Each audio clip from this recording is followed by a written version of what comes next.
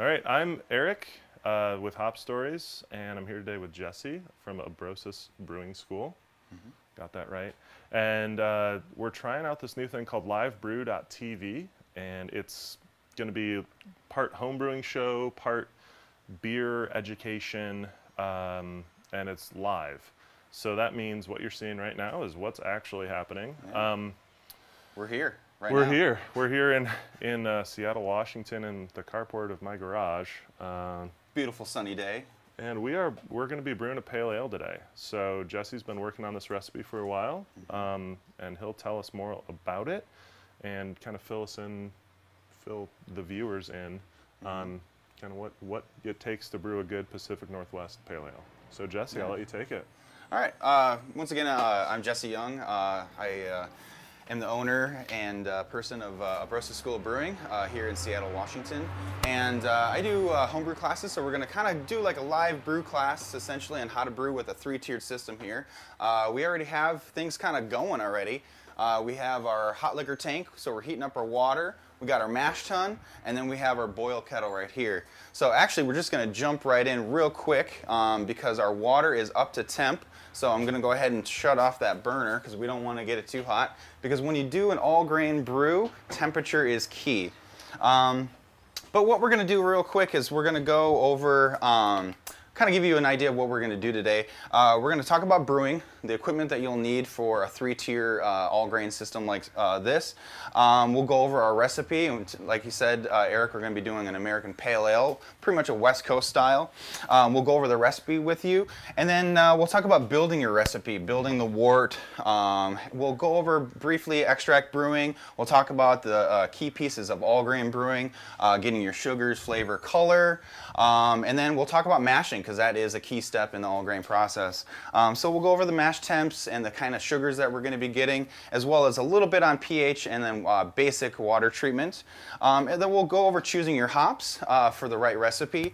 Um, and then, of course, we'll uh, the other uh, aspect of brewing is yeast. And so we'll talk about selecting your yeast uh, and going from there, and then also talking about starters. And I do have a nice little flask right here on our stir plate to kind of give you an idea what a yeast starter will kind of do for you. Um, we'll go over a little bit of the uh, uh, anthropology of beer because I do have an anthropology background. Um, when I studied at Ohio State University, um, in my opinion, the OSU. Uh, so uh, yeah, we'll go from there. And then uh, basically that's going to be the uh, origins of alcohol um, and then the beginnings of beer. Uh, and then, of course, then we'll jump straight to fermentation. We'll talk about temperature control and then go over dry hopping, uh, primary hopping versus secondary hopping. And if you don't understand what that is, we'll explain it, of course. Um, and that's about it. But we'll try to go over everything uh, today. And so that way you can see a brew from start to finish. Um, and uh, yeah, so let's uh, let's go along with this. So basically, I always like to start off and say, you know, what is brewing? And basically, brewing is malted barley is soaked in hot water to release the malt sugars. And basically, you're going to be making a tea, a grain tea. So that malt sugar solution is boiled with hops uh, for seasoning. The uh, that is then cooled, and a yeast, which is a fungus, is added to begin the fermentation. Uh, the, the yeast will ferment the sugars, um, releasing CO2 and ethyl alcohol, and that is the alcohol that we can ingest. Um, and then when the fer- main fermentation is complete, the finished beer is bottled. And then if you do bottle, you'll add a little bit of sugar for carbonation, and then you'll be good to go. Uh, so for uh, the brewing equipment, uh, what you'll need for a three-tiered uh, all-grain system is you're going to need uh, a good-sized boil kettle. Uh, this one right here is a 22-gallon boil kettle. Um, you don't necessarily need this to get an all-grain brew. Um, but uh, you know you want a good size because you don't want to have a boil over. Plus, I personally like to have a bigger boil kettle because then I have the option of doing a 10 gallon uh, batch if I want to. Uh, the other thing that you'll want to have is a mash tun, and that's where we're going to be soaking the grain in the hot water. Uh, a propane burner, um, and then basically uh, a wort chiller because you are going to want to get uh, you know your your full uh, boil amount chilled as fast as you can. And so, uh, yeah. And then basically, you know, spoon, uh, you know, thermometer, and then all your fermentation equipment. So if you've already brewed like an extract batch or anything like that, you probably have a lot of this equipment. But if you're transitioning from extract to all grain, you just need to get a, a mash tun uh, for the most part. Or brew in a bag. Or brew in a bag. That's, the other that's thing. the method I use. Yeah. Uh, just get a nice big bag, stick all your malt in there, and mash in your in your boil kettle. Yeah. Works pretty well. And so all you need is basically this if you do brew in a bag. Um, so you don't need all this other extra equipment, which is nice. Um, so right now, as we're going, I'm just going to quickly get the water. I've heated the water up to about 168 degrees. And so that way, when we add the grain that we've already previously milled, it should get to our mash temperature of 153 degrees Fahrenheit. So I'm going to go ahead and get that going. So I'm priming the mash tun right now and getting that in there. And then I like to do this little thing with my hose. Kind of gets the water flowing really nice. Bam. All right. So that's filling up. Now the one thing I will say whenever you're filling up a, a mash tun or uh, your boil kettle is always make sure that the valve on your kettle or mash tun is closed. Um, I've had hot water seeping on my foot uh, from time to time because I've forgotten all that. So um, yeah. And so uh, today, uh, like we said, we're going to be making an American Pale Ale. Um, that's just a really easy, basic uh, style of beer that you can brew uh, as your first batch. Um, you can do it extract, you can do it all grain, brew in a bag, and all that. But it's you know it's a style of beer that everyone is familiar with. Um, think of you know like the Sierra Nevada Pale Ale, the classic West Coast style uh, pale ale that really kind of uh, took off the craft beer scene back in the early '80s and such. Uh, one real uh, quick thing I do want to talk about is that so the difference between an American Pale Ale uh, and an English Ale is usually defined by the ingredients. Uh, English Pales are nutty, more robust due to the use of British Pale malts, um, while the American malt gives a softer and somewhat crisper feel um, to that. American Pale Ales are awfully uh, slightly less balanced, showing a stronger hop profile um, with ours uh, than their English counterparts. Uh, and then the American hops running, uh, they usually go towards the citrus and pine resinous profile. Um, and the English hops will go for that kind of old world character, noble hops, grassy, um, and just standard like you know soft uh, hoppiness uh, to it. And then of course with American Pale Ales we use an American yeast, um, and because it's a little bit uh, more neutral, uh, cleaner, and so it's going to showcase both the, the uh, hops and the malt, and it's not going to be like a fruity estery uh, thing that some English Pale Ales might have. Um, so American Pale Ales, the appearance they range from a straw-like pale golden color to a deep amber, so there is a wide range of what you can make your pale ale. So not really confined to really tight parameters. You can pretty much make whatever you want um, and whatever you feel like. Um, and then, uh, you know, it's going to be uh, hop hazy with, uh, when dry hopped, and then it's going to be some uh, white foam with a good uh, hop retention. Um, the aroma, the hops should be moderately uh, strong. you should get some hoppy citrus notes, but also some tropical fruits, low maltiness, uh, should support the hops, and then um, fruity esters should be moderate to none uh, for this one, and absolutely no diacetyl um, for this, which diacetyl, if you're not familiar with, that's kind of like a buttery uh, feeling on your tongue and also can kind of smell like uh, you know, toffee, buttery popcorn type thing. Uh, the flavor, it's going to be a clean malt character that supports the moderate to high uh, hop flavor. Um, and then once again, citrus flavors. Um, malt character can be generous, but once again, uh, it needs to balance uh, towards the flavor of the hops um, on that. And then uh, food pairings is kind of one of my favorite things when it comes to pale ales. pizza, uh, anything deep fried, uh, meat fresh off the grill. Uh, New Mexican is also my favorite. I actually had a stint at a New Mexican restaurant in Denver, um, and pale ales go perfectly with a little bit of spice um, on that one. And then a plethora of cheeses, and also when you have cheeses, crackers. So pretty much a pale ale pretty much goes with anything. Um, and that's why it's a really great beer to have um, either on tap or in the bottle in your fridge. Um, you can just pull it out at any point in time.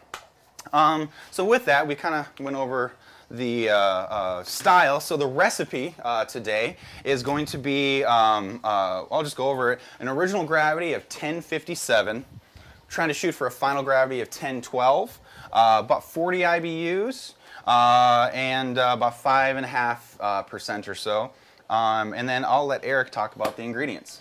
Yeah, so we're, we're using some Skagit Valley malt today. Um, I happen to work with them pretty closely, and so it'll be our Skagit Valley Copeland malt as the base, uh, 10 and a half pounds, I believe we went mm -hmm. with, and then a little bit of red wheat, a little bit of light Munich, uh, just to kind of round out the flavor profile.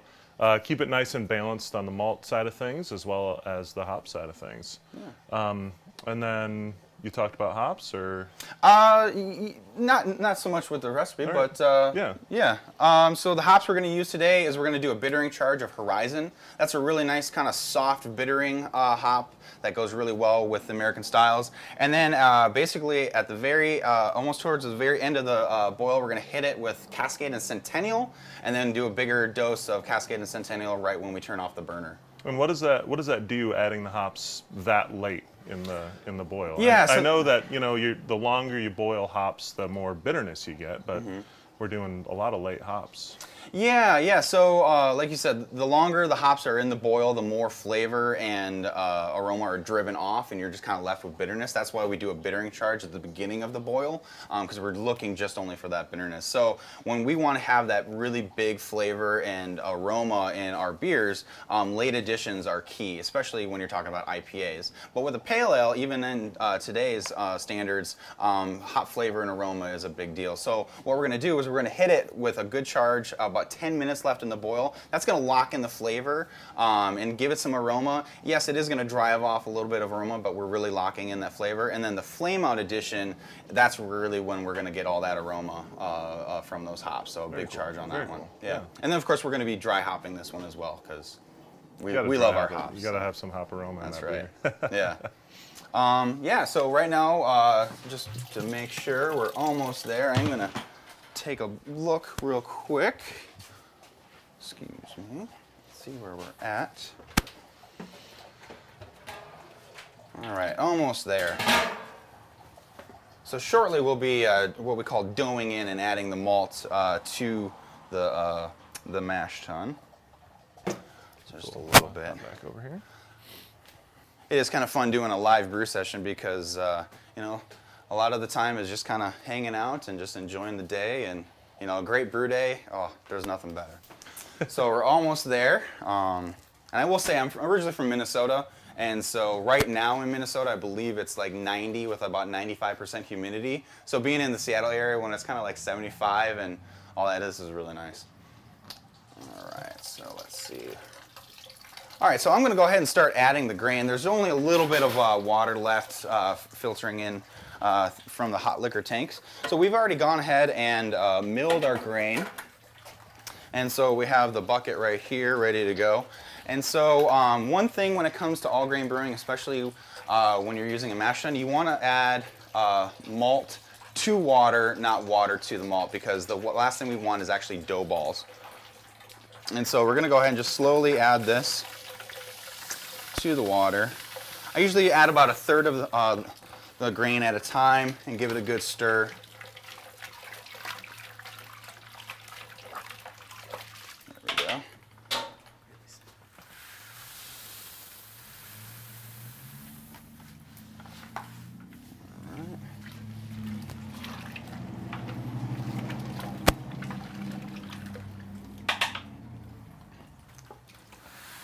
Now I am actually gonna, uh, I'm going for a little bit of a thinner mash. Um, generally speaking, when you mash in, you want about uh, 1.25 uh, quarts of water per pound of grain.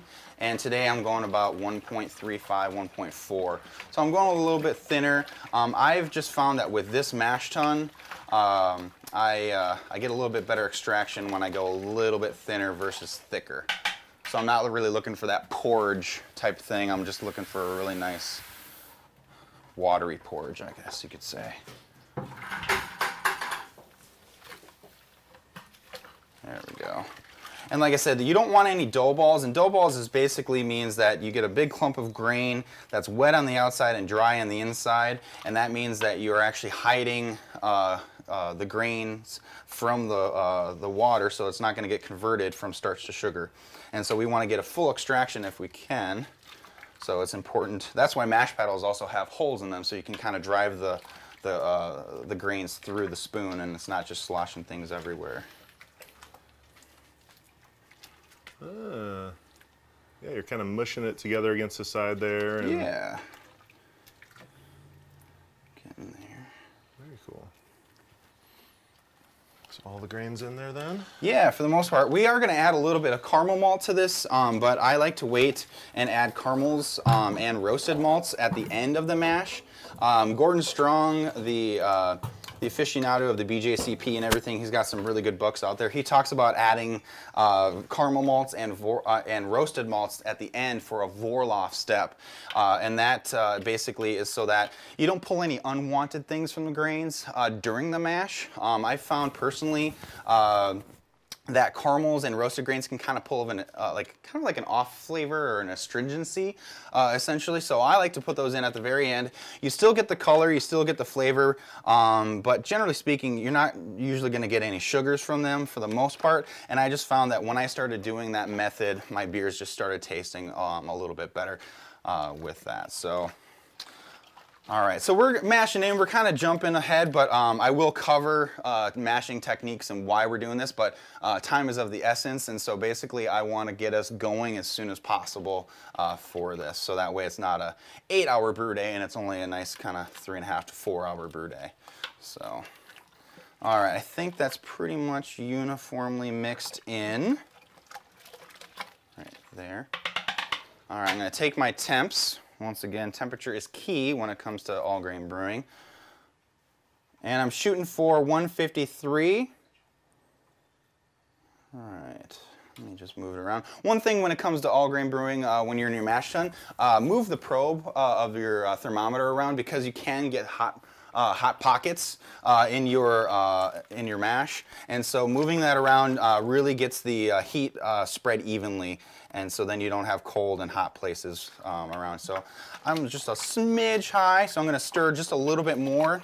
Um, I've also found that uh, aiming a little high is actually a lot easier than uh, trying to bring up your mash. It's a lot easier just to add a little bit of cold water. And I will say, cold water goes a long way. So um, if you are going to add water to your mash uh, to cool it down, just start off with like a small amount and then keep checking because I don't know how many times where I've just like thought I've had enough water, dumped it in, and then I'm like five degrees below my uh, mash temperature. So, and it is harder to get um, your mash up there. It is possible to do it, but it just takes a little bit more work. Um, so let me just check the temperature one more time. Perfect. All right, 153.3. I'm gonna put my thermometer there. I'm gonna lock this in. Now this is a, a, an insulated steel mash tun um, that I really like. It does the job. It is a 20 gallon, so it is a little bit bigger for a five gallon batch, um, but it works, but it also allows me to do a 10 gallon batch or even a big barley wine or something that has a massive grain bill. Uh, so let's see, we're just gonna check in. It's 11:45, so uh, we got about an hour. So 12:45 is when uh, the mash will be over. I am going to go ahead and get some uh, water uh, filled up for our. Um, uh, to raise the mash. Um, basically, uh, at the end of the of the mash, the hour-long mash, um, I am going to want to raise this up to about 168 degrees. So I'm going to get about, I think it is. Let me just check my BeerSmith recipe real quick. Okay. Let's see here. There it is. All right, so I'm going to do about three gallons, and I'm going to get that to basically almost boiling uh, in here. And that means that when I add the three gallons of boiling water to the mash tun, it's going to automatically raise my uh, grain bed to right around 168 degrees, which is great for uh, draining into the brew kettle on that. So um, I'm going to go ahead and uh, get the kettle filled up um, on there. And uh, yeah, let me just do this.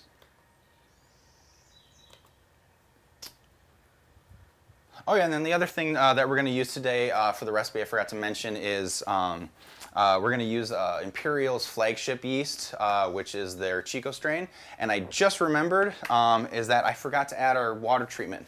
So um, this water treatment is just really basic. And once again, I'm going to go over this real quick as well uh, in a little bit. Um, but I just want to get it in the mash tun.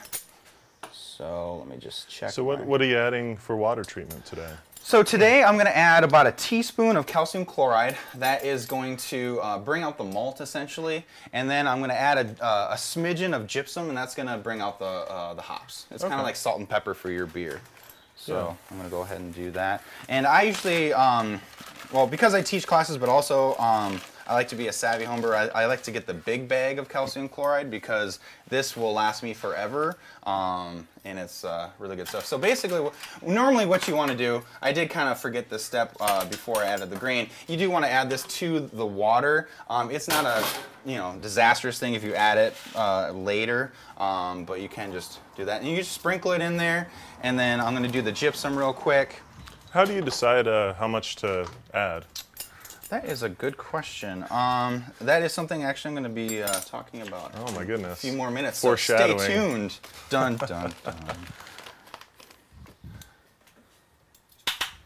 yeah, it's a basic uh, water primer um, that this guy in Homebrew Talk, uh, A- I think it's AJ Delange, he kind of broke it down in a really good post that's been shared around, and it's just a really good template for uh, easy water treatment. Um, I am also going to add about a teaspoon of lactic acid to try and just you know bring down the pH. I could add acidulated malt to the grain bill, but I like to just do a simple liquid uh, thing of lactic acid. Some people use phosphoric acid. Um, uh, you know, there's mul- in, in in brewing. There's multiple ways to do things. Um, I just, for some reason, I just keep, because uh, certain recipes call for acidulated malt, Yeah. which is uh, they put lactic uh, bacteria in the malt and kind of let it do its thing. That's why I use lactic acid in the mash. And then if you are, this is like advanced stuff. If you are down the road, want to treat your beer at the as the end product, phosphoric acid is the one that you want to choose because it doesn't impart a flavor. Okay. Lactic acid gives a little bit of a sour note to it that you can taste. So I've gone ahead and added that. So I'm just going to mix it in into the water, and this should help with the conversion uh, from starches to sugar. Um, and go from there. Uh, you know, when it comes to water treatment here in Seattle, we have really great water, and so you don't have to do a whole lot. That's why historically there are a lot of uh, breweries here because our water is that good, and it kind of supports hoppier beers um, as well. It smells really good. Yeah, I love green tea.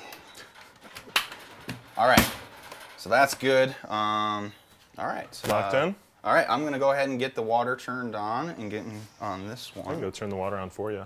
Oh yeah, that would be great. At the hose at the wall back here, or Uh, yeah, um, I'd say go ahead and then uh, I'll uh, yell to you when I All right. need you to turn it off. And one thing I have done on this brew uh, uh, stand that I built myself is actually I put in a nice uh, uh, water uh, filter uh, unit, so that makes things a lot easier um, with that. Close the valve. Once again, always make sure your valves are closed. And I'm just going to go ahead and do about two, let's see, almost three gallons. Um, in this kettle, uh, I have measured uh, that basically uh, when I close or when the valve is open, uh, there's usually about a quarter of a gallon left at the bottom of the uh, thing. So I'm going to do about um, I need about three gallons. I'll do like three and a quarter gallons. The other thing I will let you guys know is that a really easy tool um, that is not expensive is a, a dowel dipstick. Um, this, you know, if you don't have a sight glass on your uh, boil kettle, um, you know, go to the hardware store, get like a dollar fifty uh, wooden dowel, and then put it in, and then just fill it up one gallon at a time and make markings on it, and uh, that way you know exactly how much water is in your boil kettle. Uh, that way. Oh, you know what I forgot to do? Hey, Eric, hold on. I actually, uh, off? yeah.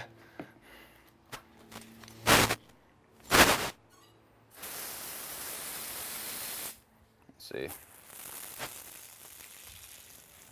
All right.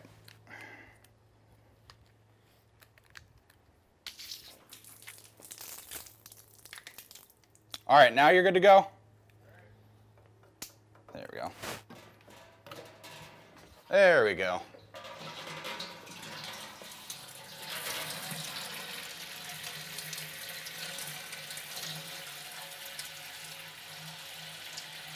Sweet. So uh, just to let you know that um, I have uh, a three-tiered uh, brewing system here, um, and I've kind of gone with the vertical uh, version. So I'm using gravity uh, to uh, go from one vessel to the other. Uh, from there. Um, you can do a horizontal uh, uh, all grain uh, system, um, but that way, if you do go more of a horizontal figure, you do need to utilize pumps. Um, that's why, for a simple method of getting brewing, um, and not having to get a ton of equipment, I just went with the gravity approach. It's just a little bit easier. Um, if I wanted to, you can always add a pump uh, to this system if I want to do like a recirculating mash system or something like that. But uh, just to get off the ground and get into a three-tier brewing, um, this is just a really easy way to go. All right, get in there. And I will say that um, when you get to all grain, water measurements are uh, a, a, good thing to have precision over. Um, you don't want to you know, it's not the end of the world um, if you do too much, but um, that means you might have to boil a little bit longer. Um, all right, Eric. Cool. Perfect. And while things are mashing, I like to kind of get things going so that way, you know, once again, your brew day is nice and efficient. You're not standing around waiting forever, um, and it just makes everything a little bit easier for you. So I'm just to go ahead and do that. Uh, I'm to go ahead and turn the burner on and get that going because I want to get these three gallons to boiling as soon as I can, or not as soon as, but uh, you know, relatively quick within that hour. So I'm not going to crank it up. I'm just going to do a nice even uh, burn on that and then uh, go from there. All right. So let's see here. So we've gone over the style. We've gone over the recipe. Um, we got our uh, um, strike water for the uh, mash out is going. We have our grain in the mash tun at 153 degrees. That is uh, converting as we speak. And so uh, let's uh, go about uh, uh, building your recipe. Um, so, you know, one of the things that I like to think about is um, when you're building a recipe, think about the final beer. Uh, what does it look like? Uh, what is it? Uh, what's the mouthfeel and aroma like? Um, is it malty? Is it all hop flavor? Um, you know, is the bittering harsh or soft? Do you want a really good hoppy bite or do you just want a nice mellow bitterness that allows other things to shine through? Um, and then also, will it have a dry finish or a slightly higher gravity? So there's a smidgen of uh, malty sweetness. You know, think of uh, uh, like a barley wine. That's going to typically finish off at a higher gravity or higher final gravity. So it's going to be a little bit sweeter versus like a double IPA um, that finishes off nice and dry and makes it a little bit more, or not sessionable, but a little bit uh, easier to drink um, from there. Um, and then also the other thing to think about is that do you want a nice uh, clean uh, profile of your beer or do you want some yeast character uh, involved in there? Um, so for example, you know, if you're doing an IPA, do you want a classic West Coast clean IPA or do you want to throw in some yeast character, maybe use an English strain uh, or even you know use like a Belgian strain and get some really nice uh, esters and phenolics out of those strains and some character from that yeast. So these are all things that I like to think about before I even start building the recipe. What do I want to enjoy in the glass? Um, and so once you have that you know ideal beer in your head, um, you got to build the malt bill. Um, and then pick a good bittering hop uh, and then go all in on your flavor and aroma. Um, and, and, once again, I, I, like to think about beer as like kind of like a house. You want to build your foundation first and then build upon that. Um, and so bittering, um, is a really good foundation to build upon, and then you can add uh, uh, certain hops will complement others um, upon that. Uh, pick a yeast that will highlight uh, your ingredients in the recipe, but not distract from it. Um, Wyeast, White Labs, um, SafAle, Imperial, um, they other uh, and other uh, yeast companies out there have really great detailed information, so you can really start to see exactly what you want your beer to be like with its flavor, the attenuation, or how much it will ferment um, and uh, from there. And also, uh, if it's going to drop out, so do you want kind of like a, you know, think of like a Hefeweizen. It's very cloudy, and that's be, uh, because of the yeast for the most part. It does uh, deal with the, the uh, wheats uh, that are in the beers, but for most part, the yeast just doesn't drop out, and we call that flocculation. So, do you want your beer to be a little hazy, or do you want it to be crystal clear without any use of having to filter or doing anything like that? Um, and then uh, one thing I will say is that simplicity uh, with your hops and malt uh, can be a, a good thing. Um, having too many ingredients can muddy your beer.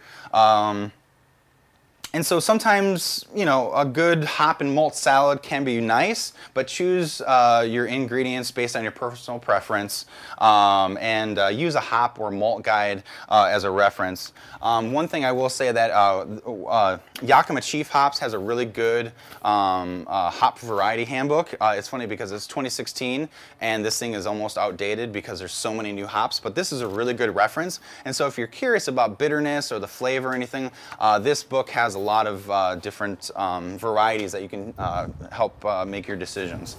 Um, and so when you're building your wort, uh, basically, um, you want to, if you're going to do an extract brew, um, that's basically where you're getting your color, flavor, um, and then you want to figure out how much of the extract you want to put in because um, when it comes to extract, much like all grain brewing, um, you want to calculate for your dead space uh, in your boil kettle. So for example, because this is such a big boil kettle, um, I basically have to calculate for about two gallons of loss. So it's going to be different uh, in a kettle like this versus a small five gallon uh, kettle on your stovetop. You're not going to lose as much um, in that kettle uh, as well. So thinking about that and dialing in your equipment um, for your recipe is a key step, especially for extract, because you don't want to think that you're going to be getting like you know, uh, a 7% beer, but then you didn't have enough extract and now it's down to like 5.5%. It's going to be a completely different beer at that point. Um, and then with extract, you're going to have some steeping grains. Uh, you could do like a partial mash a little bit, um, but uh, the steeping grains, that's going to give you uh, your color and uh, some added fresh flavor. Um, you're going to get a lot of that from the extract, but those steeping grains, I think, are a key aspect of making better beer. Um, just kind of gets a little bit of that freshness in there. And then um, the all grain brewing techniques, uh, we kind of briefly went over brew in a bag. Um, that is a really nice system. I actually went from extract to brew in a bag, and I did brew in a bag for about a year and a half. And I think I did like 40 recipes or so in that um, year. And it was a great system. Um, it allowed me to jump from extract to all grain brewing, um, and I made some really nice beers. Um, I even did a decoction uh, mash with uh, brew in a bag. That was uh, tricky, but we did it.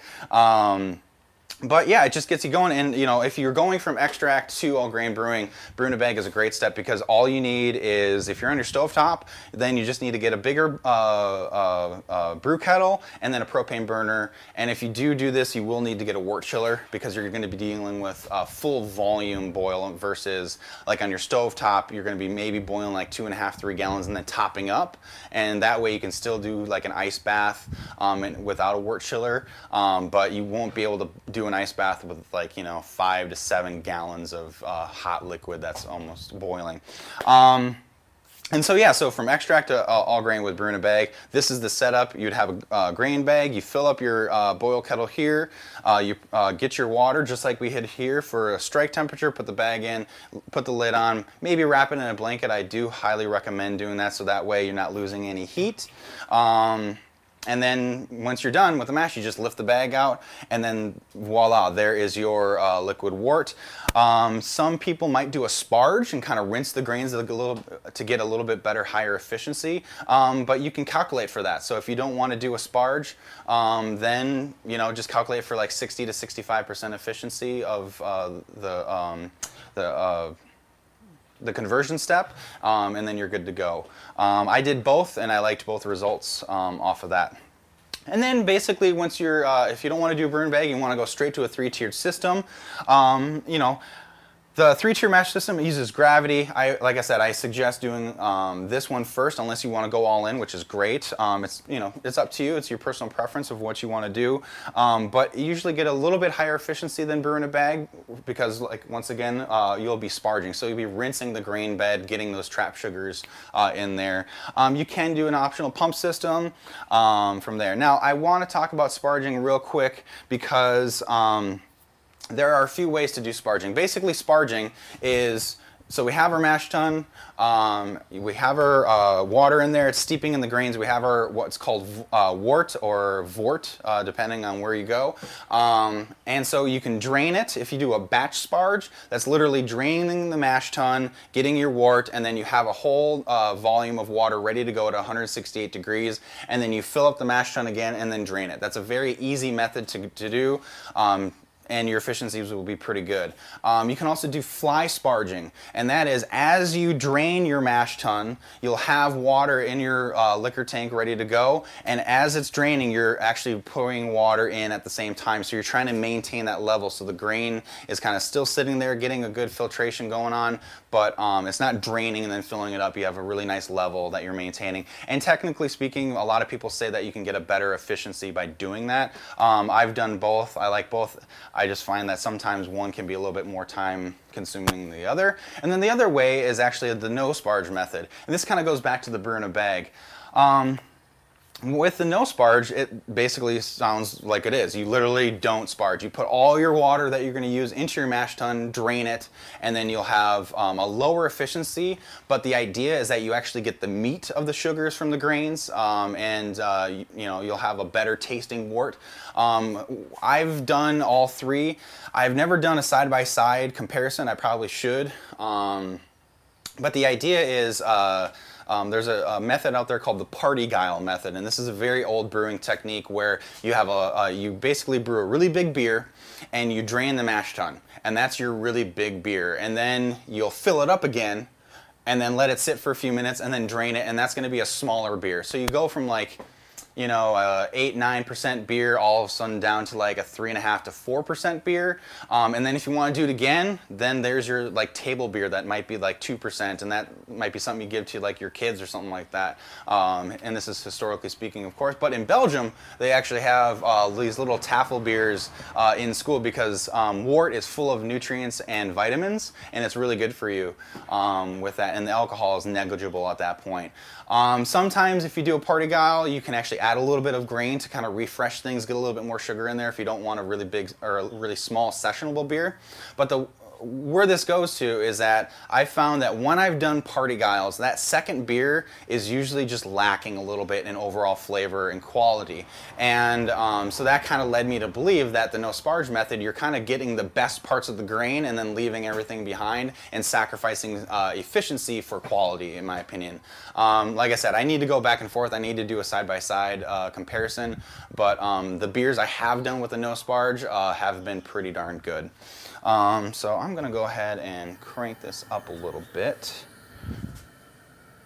One thing I will say is adding a, a built-in thermometer to your uh, brew kettle and your hot liquor tank makes things a lot easier. That way I don't have to go up and like take an actual reading over, you know, really hot water and steam and all that kind of stuff. It just makes it really nice and easy to go. And then also adding valves to your brew kettles is really nice. Um, you can either buy a brew kettle that has it like this one, it's already built in, or you can just get a cheaper variety and then get like a weldless uh, uh, valve and thermometer. And that's what I did on this one. This is actually uh, my original boil kettle um, here and then I bought this one, so then this went to my liquor tank. But that, this allows me to do, this whole setup here allows me to do a 10 gallon batch, if not a 15 gallon batch, depending on the grain bill size and how much alcohol I want to get. Um, but it's nice because I can still do a five gallon batch uh, whenever I want. Um, so that kind of covers building the wort. Um, Let's see. One thing I always like to talk about is that when you go to all grain brewing, it is more control and variety compared to extract. Um, you get, of course, your sugars, flavor, and color, but base malts, that's the key aspect to um, all grain brewing. You're going to get a lot of flavor uh, from your base malt. So it's not just for your sugar. Um, you can really play around with your beer style uh, just by choosing different base malts, and there's a ton out there. Skag uh, this recipe, once again, is from Skagit Valley. They have great uh, malt, in my personal opinion, and they're kind of leading the uh, the uh, revolution of the new malting uh, era that we're in, which is really exciting. Um, but you know, uh, there's plenty of other, there's Weyermann and Best Malz and Great Western, which is an American uh, variety, uh, Gambrinus from Canada and all that. Um, but uh, yeah, you know, like I said, it's just, it's not just for sugar. So, you know, to each is their own, but you know, you don't have to uh, cheap out and get the cheapest base malt. You can actually go a little bit more, spend a little bit more, and you will get a better beer, in my personal opinion. Um, and then uh, when it comes to specialty grains, so uh, specialty grains are going to be your caramels, your biscuits, um, you know, flaked oats, all these different kinds of things um, that you can use. Um, and with those, you can do a traditional mashing where you throw everything in here. And we kind of covered this a little bit. You throw everything in there, you do your mash, you draw it out, and then voila, there's your wort. Or you can do Vorlauf grists. And, um, and there's two ways to do this. You can do the Vorlauf grist, which once again is going to be your caramel or crystal malts, and then some of your roasted malts. So think of like your chocolate, roasted barley, um, uh, you know, brown malts uh, and all that kind of stuff. That's going to give it a really dark color and dark flavor. Um, wait till you know, add those at the end, and you might actually get a smoother uh, flavor. Uh, I actually did this for the first time. Um, about a year and a half ago uh, with my dry Irish stout. Um, my dad was coming and he loves uh, Guinness, and so I always like to have a, a keg of that for him when he comes over. And so the first time I made that recipe, I just threw everything in there. It was good.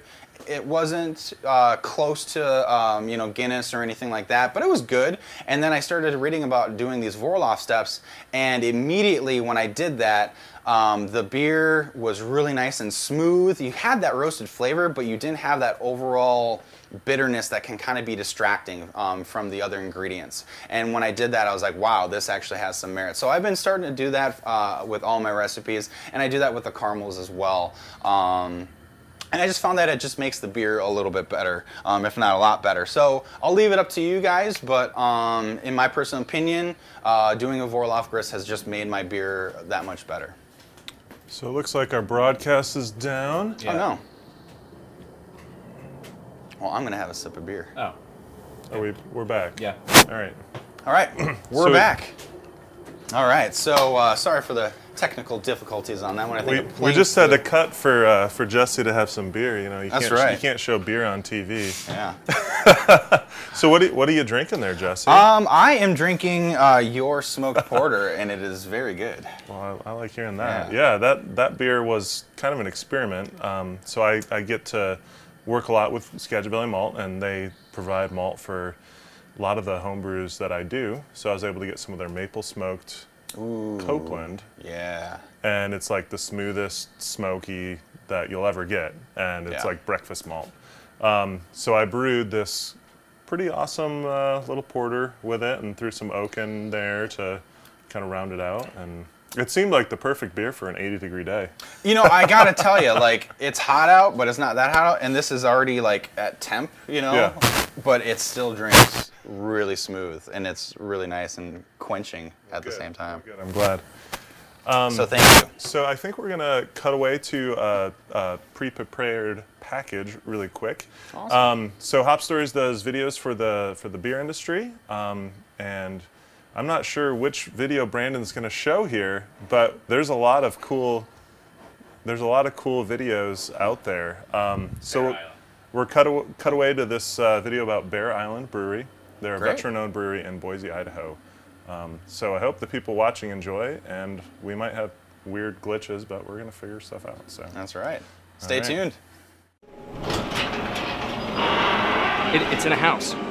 You know, you can't you can't show you're running a business once you close the doors. It needs to look like a house. It needs to look residential. It can't look commercial. You can't have stuff out there. You can't have stowage.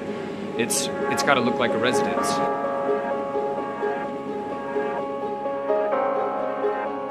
Bear Island is my dream. I was a beer connoisseur uh, when I was in the U.S. Navy. I got to travel over the country and the world, trying all different kinds of beers. Uh, it just spurred this desire inside of me to learn more about local flavor. And then came home to visit and looked in the grocery store, and there was no local beer on the shelf. There was no local beer on tap anywhere, and I was going, well, this is dumb. Why not? So I said, well, that's it. I'm starting a brewery. When I finish my Navy contract, I'm going home, starting a brewery in Boise, Idaho. One of my favorite things is waking up in the morning and smelling some of the, the hops, the cinnamon that, that filters through the house. Like nobody else can get that. It's awesome. Uh, the good part of it is it's right here. I don't have to deal with traffic. I just come to come to work, start going. The struggle is you need to get out and you need to meet people and see people and converse with people and interact with them and that's it can be difficult when you're running 14 and 18 hour days. Events are uh, they're a love-hate relationship. Setting them up, hate it. Once everything's pouring good and the beer's flowing, one of my favorite things in the world to do. I get out, I actually get to talk to the people. I get to get out of the garage, talk to the people that are consuming the beer, tell them about it. Give them the passion. Tell them the story that they, you know they may not hear, they may not find somewhere else. It's a it's a huge avenue. It gets people excited. So when we do get a tap room and we do grow, uh, we've already kind of established the brand and the loyalty and everything. So it kind of everything just kind of falls into place a lot easier. So one of the things that makes Bear Island very unique is uh, we like to use indigenous ingredients. Uh, not that other breweries don't, but we make it a focus. Uh, especially being small, it, it, affords us the opportunity to make the weird batches and have fun and explore. So uh, one of our fun, weird ones that we did was we decided we wanted to do an imperial stout. Well, everybody does an imperial stout and bourbon barrel aged and all this, and they're great. But we said, well, what if we use some kind of unique ingredient? Well, there was a time I had a lavender chocolate bar and I thought it was the best thing ever. So I started searching and I found a local lavender farm called Red Chair and uh, created a relationship with them. And so now we have Lady M, our Imperial Lavender Chocolate Stout. Our flagship, the one I'm holding in my hand actually, is Idaho Potato Ale. Yes, there's actual Idaho potatoes in it. It's just, it's really fun to use local ingredients. We've used local honey.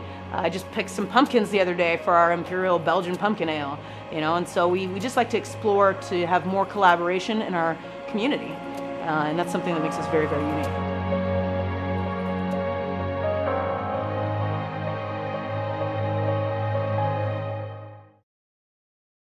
Are we are not.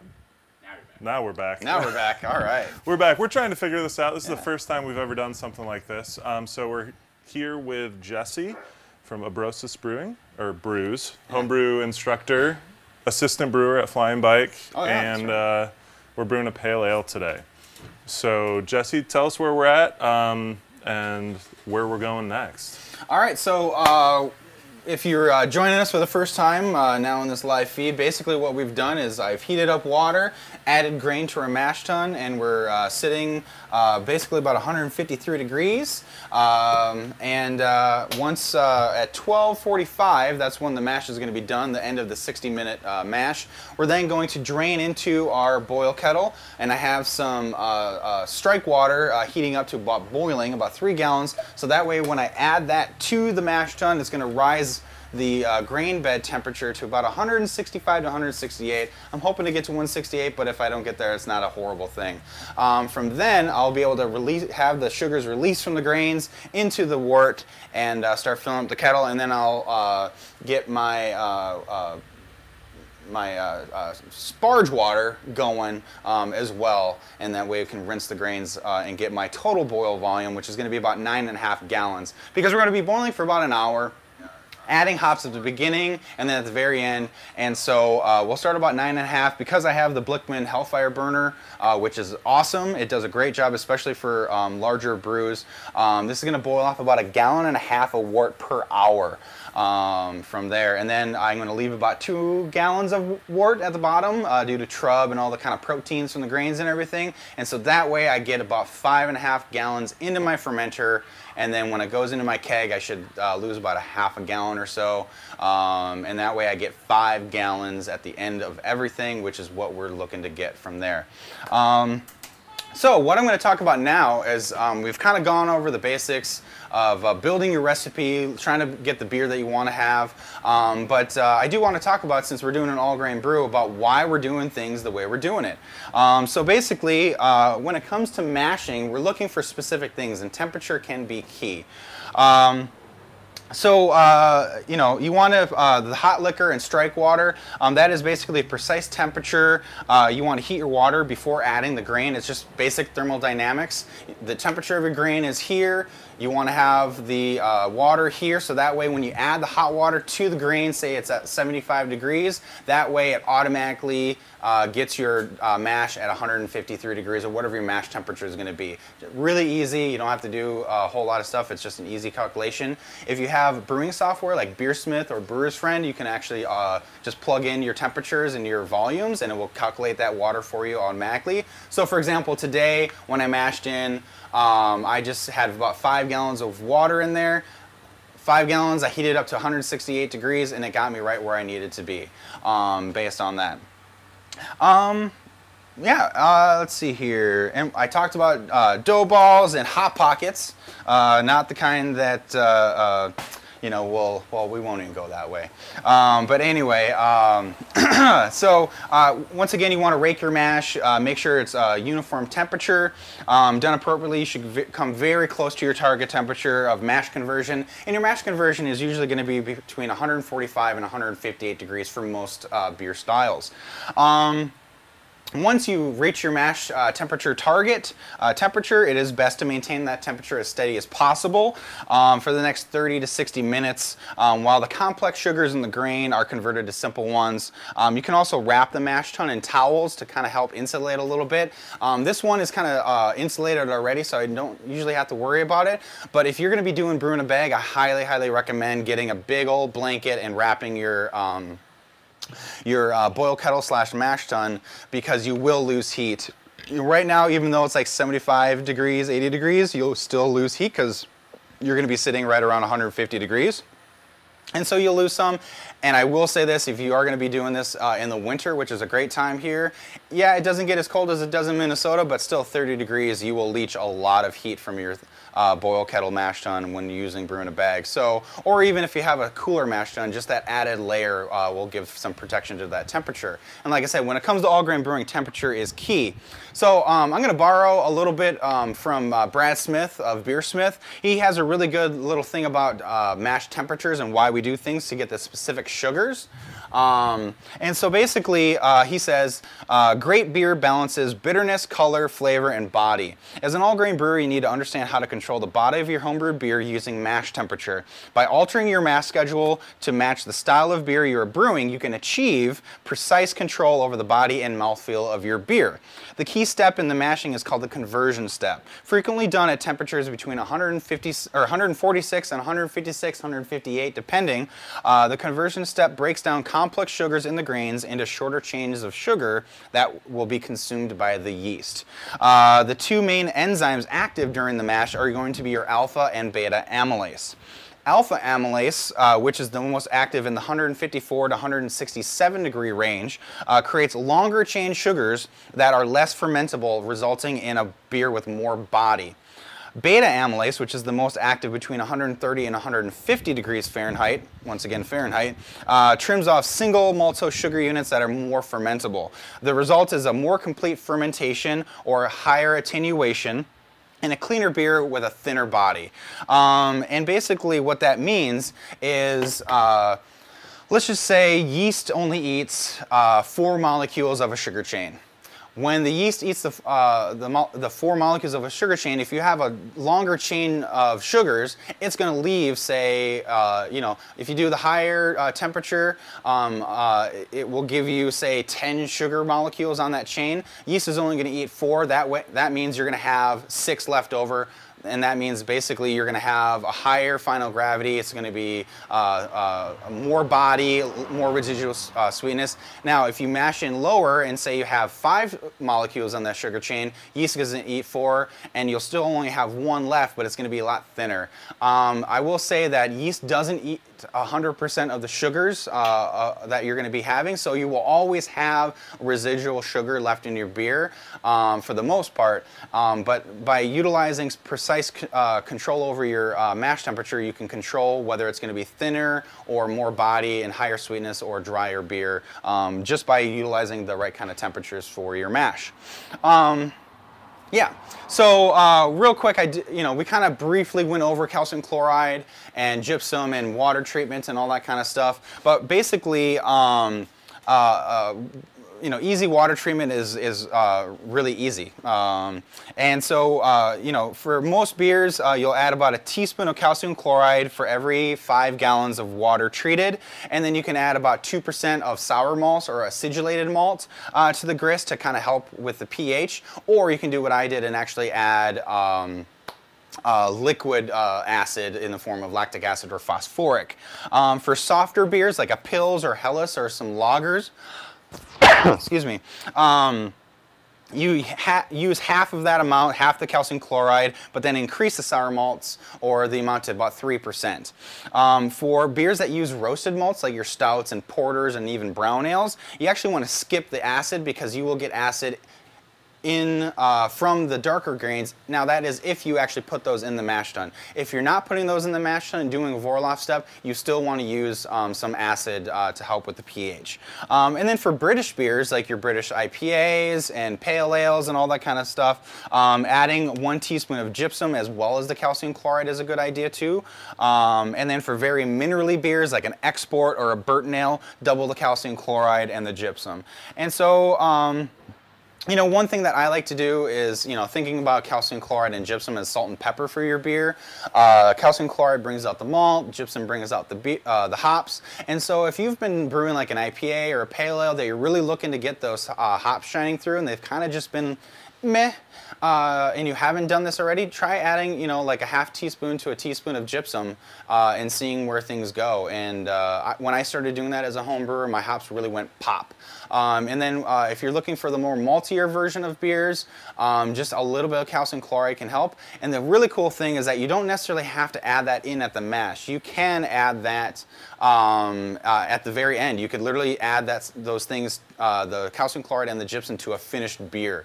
Um, and if you do that, just pour, you know, like a four ounce sample and take a little bit, mix some uh, in the water, and then add a little bit here and there, and you'll be able to actually dose your final beer and really have uh, that precise control. Just going to go ahead and check our temperature real quick.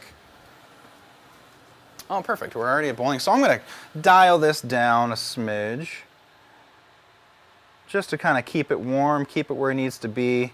Um, but I don't want to boil off too much because let's just see where we're at. Well, we got about 20 minutes uh, left in the mash uh, uh, today. Um, so yeah, uh, we're getting there. We're right on track, which is great. Um, so the next thing I want to talk about are hops.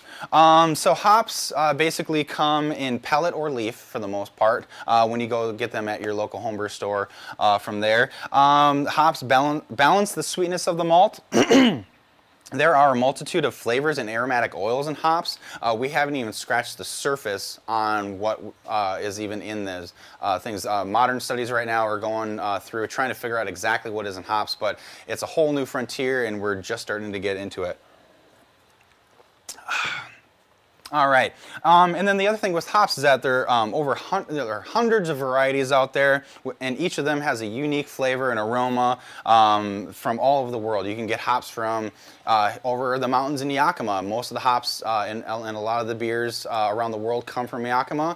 Um, you can get hops from New Zealand and Australia. Uh, those are kind of uh, called uh, Southern Hemisphere hops. You can get hops Germany, you know, the uh, Czech Republic, uh, uh, Britain, and all that kind of stuff. Um, a fun thing now that people are doing, especially um, in Germany, they're kind of taking American varieties and growing them in Germany and getting some really awesome uh, flavor profiles that you wouldn't normally get uh, from there, and that's due to the terroir um, of the growing region. And so you can get different things out of uh, the same hops just by growing them in different areas, which is a, a really fun thing to do. Um, and so to go over the basics of uh, utilizing hops in a brew, um, you know, you want to go, you, you, have your bittering, your flavor, and, and your aroma. Um, bittering is usually, uh, you know, 60 to 90 minutes at the beginning of the boil. Um, and uh, like we talked about before, the longer hops are in a boiling wort, the more aroma and flavor are driven off. And so really you're just looking for the bittering aspect. Most traditional styles of beer uh, call for a bittering charge at the beginning of the boil. We're starting to get into um, a new uh, realm of brewing where people are actually foregoing the bittering addition and just going straight into flavor and aroma and picking up all their IBUs that way. Um, and so, you know, your bittering charges for your IBUs coming from the alpha acids, you get the isomerization of the alpha acids into uh, IBUs, which is the International Bittering Unit.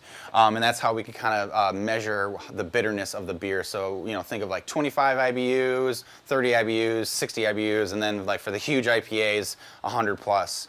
Um, going from there. And then flavor, that's going to be kind of the last, uh, you know, 15 to 10 minutes left of the boil. Like for this, uh, recipe, for example, we're throwing in our Cascade and Centennial at 10 minutes left in the boil, so we've boiled for already about 15 minutes or so. You can do um, flavor uh, additions earlier than that too. Um, some call for like a 30 minute addition or even a 20 minute addition. Um, it just depends on the recipe and what you feel like as a brewer yourself. Um, and then the aroma is going to be the last uh, 10 to 15 minutes of the boil, usually actually at the end of the boil, which, which is what we call uh, flame out. You can even do an aroma addition uh, in the whirlpool or do a hop stand. And that is basically you um, turn off the boil uh, and the burner you add your hops and then you chill down uh, to lower than 180 degrees, uh, between 180 and 170, let's just say. And what that does is that below those temperatures, you don't pick up IBUs, but you get to infuse all that great flavor and aroma into your beer. So if you're looking for this huge IPA or even a pale ale that you want a huge dose of aroma, um, doing a hop stand or whirlpool hops um, will greatly intensify uh, those um, aspects of the beer. So like the new hazy IPAs, the juicies and all that kind of stuff. A lot of the hop uh, flavor and all that comes from those Whirlpool and hop stand uh, additions. Um, so I'm to go ahead and turn this off for right now. Uh, from there, let's see. All right, so once again, to kind of go over the hops, um, hop varieties that are uh, often used are American types, um, but it is worth experimenting with hops uh, from Europe, New Zealand, and Australia and see what might suit your taste. You might have this recipe that you've been brewing forever, and it's really great, but you know, if you swap out a hop from, say, New Zealand or, um, you know, a German variety that has an American uh, hop grown there, it might actually transform your beer into something that's really, you know, better um, or just different, you know, and people might like it or something like that. But it's kind of fun to experiment. That's what we do as homebrewers, just kind of experimenting with everything. And then uh, the other thing is uh, thinking about IBUs and bittering. Uh, bitterness, of course, ba balances the sweetness of the malt, but some hops give more than others. Um, IBUs doesn't always mean a strong bitterness, and basically um, there's a thing in hops called cohumulone. The lower the cohumulone, the softer the hops are, and that can actually allow other things in the beer to shine through. Um, and so, and then uh, beers uh, or hops with high cohumulone have that kind of like uh, sharp uh, bite to that. So think of your classic C hops; those are usually higher in cohumulone cohumulone. So if you want that flavor profile from those hops, choose the high cohumulone. But you know, if you have a friend or a significant other or people that just don't like hoppy, bitter beers, um, I actually kind of did this with my sister-in-law. I she didn't like IPAs, and uh, I brewed a 80 IBU IPA with all soft, low cohumulone hops and gave it to her, and she was shocked at how much she liked the beer. Um, she's like, "Wow, what are these flavors I'm getting? It's fruity and juicy and citrusy and all these things." And I told her it was an IPA, and her jaw hit the floor, and she couldn't believe that it was an 80 IBU IPA.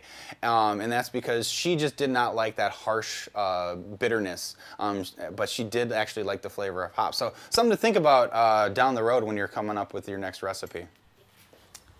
So I think we're gonna take another little break here. Perfect. Um, so we're gonna be showing another video. Brandon, what do we what do we got coming up next here? Beer trends. Beer trends. Um, so we went to a uh, beer conference and interviewed some brewers and asked them what the next trends are in the brewing industry, and here are their answers. So enjoy. Um, we're going to take a break, get some water, etc. Yeah. Next big trend in beer? The next big trend in beer, I think, is going to be. I'm going to say sessionable beers so you can drink them all day. We're on the beach. You got to be able to day drink. I would say the return of pilsners and lagers. Lighter beers, not so much just sessions, but traditional style lower ABV, more drinkable beers. Hazier IPAs. Everyone's getting really big into sours now. I still haven't gotten onto that trend yet. It's up to the consumer, I guess. If I knew that, I'd be doing it already. I'm gonna have to say something like a Gose or some sour like a kettle sour. Weird yeast flavors. Super local, for one, but I think people are gonna go back to more approachable beer styles. I would love to say lagers, I feel like a safer answer is session beers. Good beer in the long run, I think, is what's going to be judged, and that's a return to classic styles. Uh, Pilsers. I think we're already starting to see it happen. We're going down the lager road. Um, I hope it's going back to beer flavored beer. I see the alcohol, the ABV going down a lot, and a lot of more people are starting to turn on to lagers.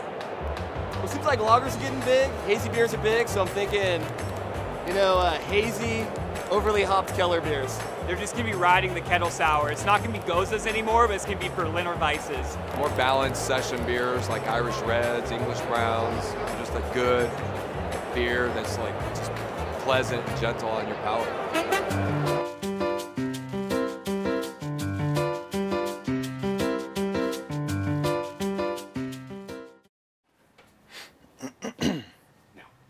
So we are back.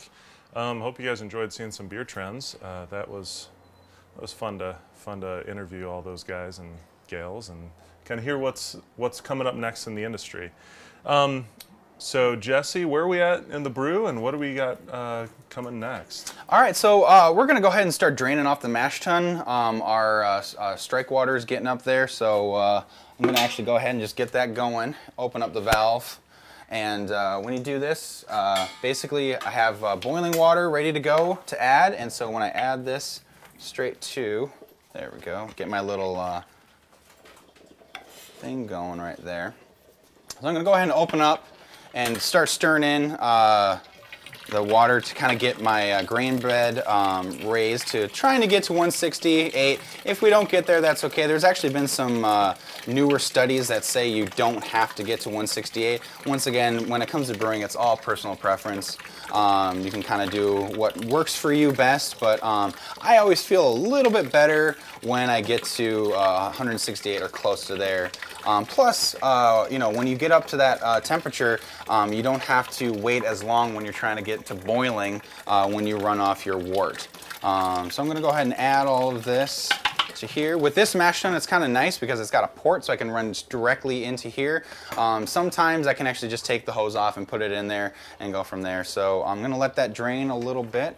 Um, and so, uh, yeah, so we'll, uh, once that's done, uh, getting the three gallons of boiling uh, water into the mash tun, getting our temperature up, I'm gonna go ahead and drain um, with the silicone tubing uh, into my trusty pitcher. Um, this is a great little pitcher, and what I do is I typically have found that if I drain about a gallon of uh, wort from the mash tun, um, I get most of the grain bits coming out.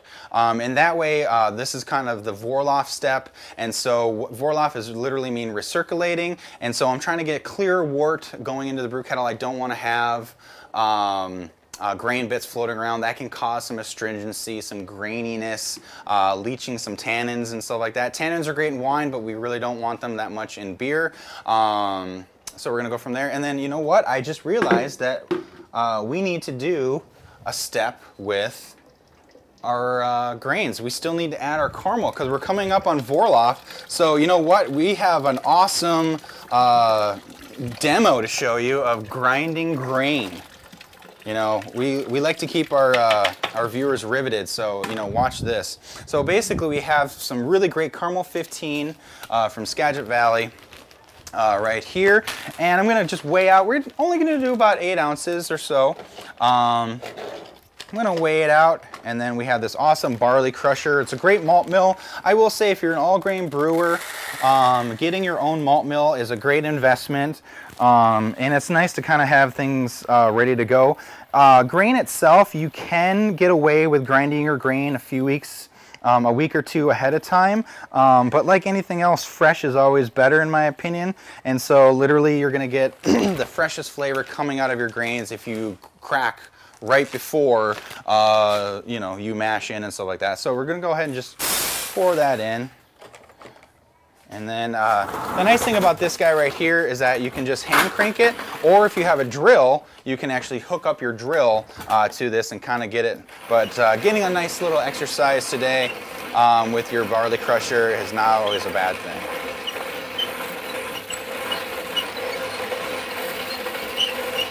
And eight ounces doesn't take that long, which is great.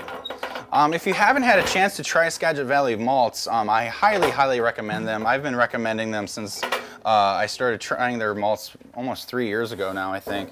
Um, and I just think that the overall quality of their stuff is just great. And I usually get a higher uh, extraction out of them too because they have a low protein uh, content in most of their grains. So that means less stuff at the bottom of your kettle and more stuff into your fermenter and then ultimately into your glass. So I'm gonna go ahead and just add that grain straight here, give it a stir, and what that's gonna do is that's gonna infuse that great uh, light caramel uh, sweetness into that, get the color that we want for a pale ale. Um, but none of the uh, harsh attributes that some uh, uh, roasted malts, because you know caramel is roasted, it's caramelized sugar. Um, and so sometimes you can pull off a few unwanted things, in my opinion. But uh, once again, we'll leave it up to you to make your own opinions on this stuff. That's the beauty of homebrewing. You can do it in multiple ways and do what works for you. So I'm going to take a temp.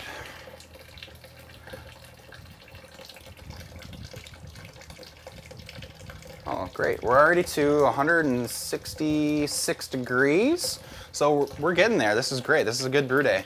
Um, like I said, if you don't get to 168, it's not like the beer's ruined or anything like that, but I always just feel a little bit better when we're at that point.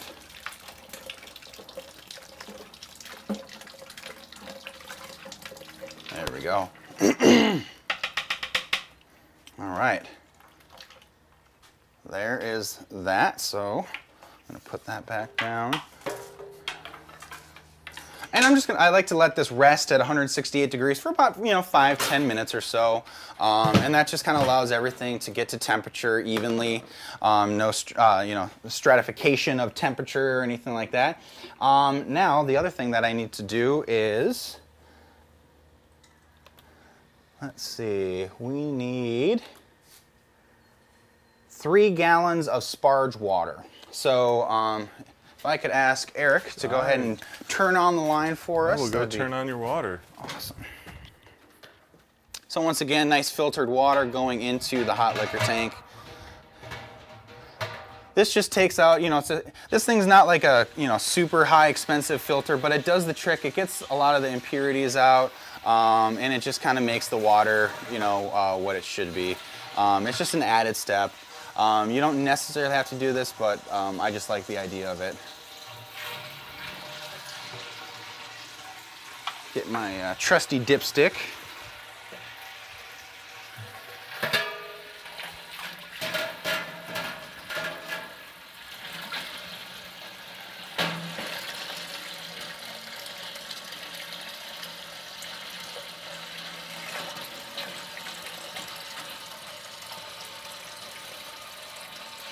One thing I will say is that if you can and if you have this situation, I am a tall guy, but I still like to have a little step stool because I can fill this thing up and kind of tippy toe, but then I'm dealing with hot water and a hot, uh, uh, you know, boil kettle, and uh, I don't like to really touch this too much because it is scorching hot. So getting a step stool just makes things a lot easier, um, and then you don't have to worry about that hospital trip uh, because you burned yourself or toppled a whole kettle of boiling water on you. All right, Eric. Thank you.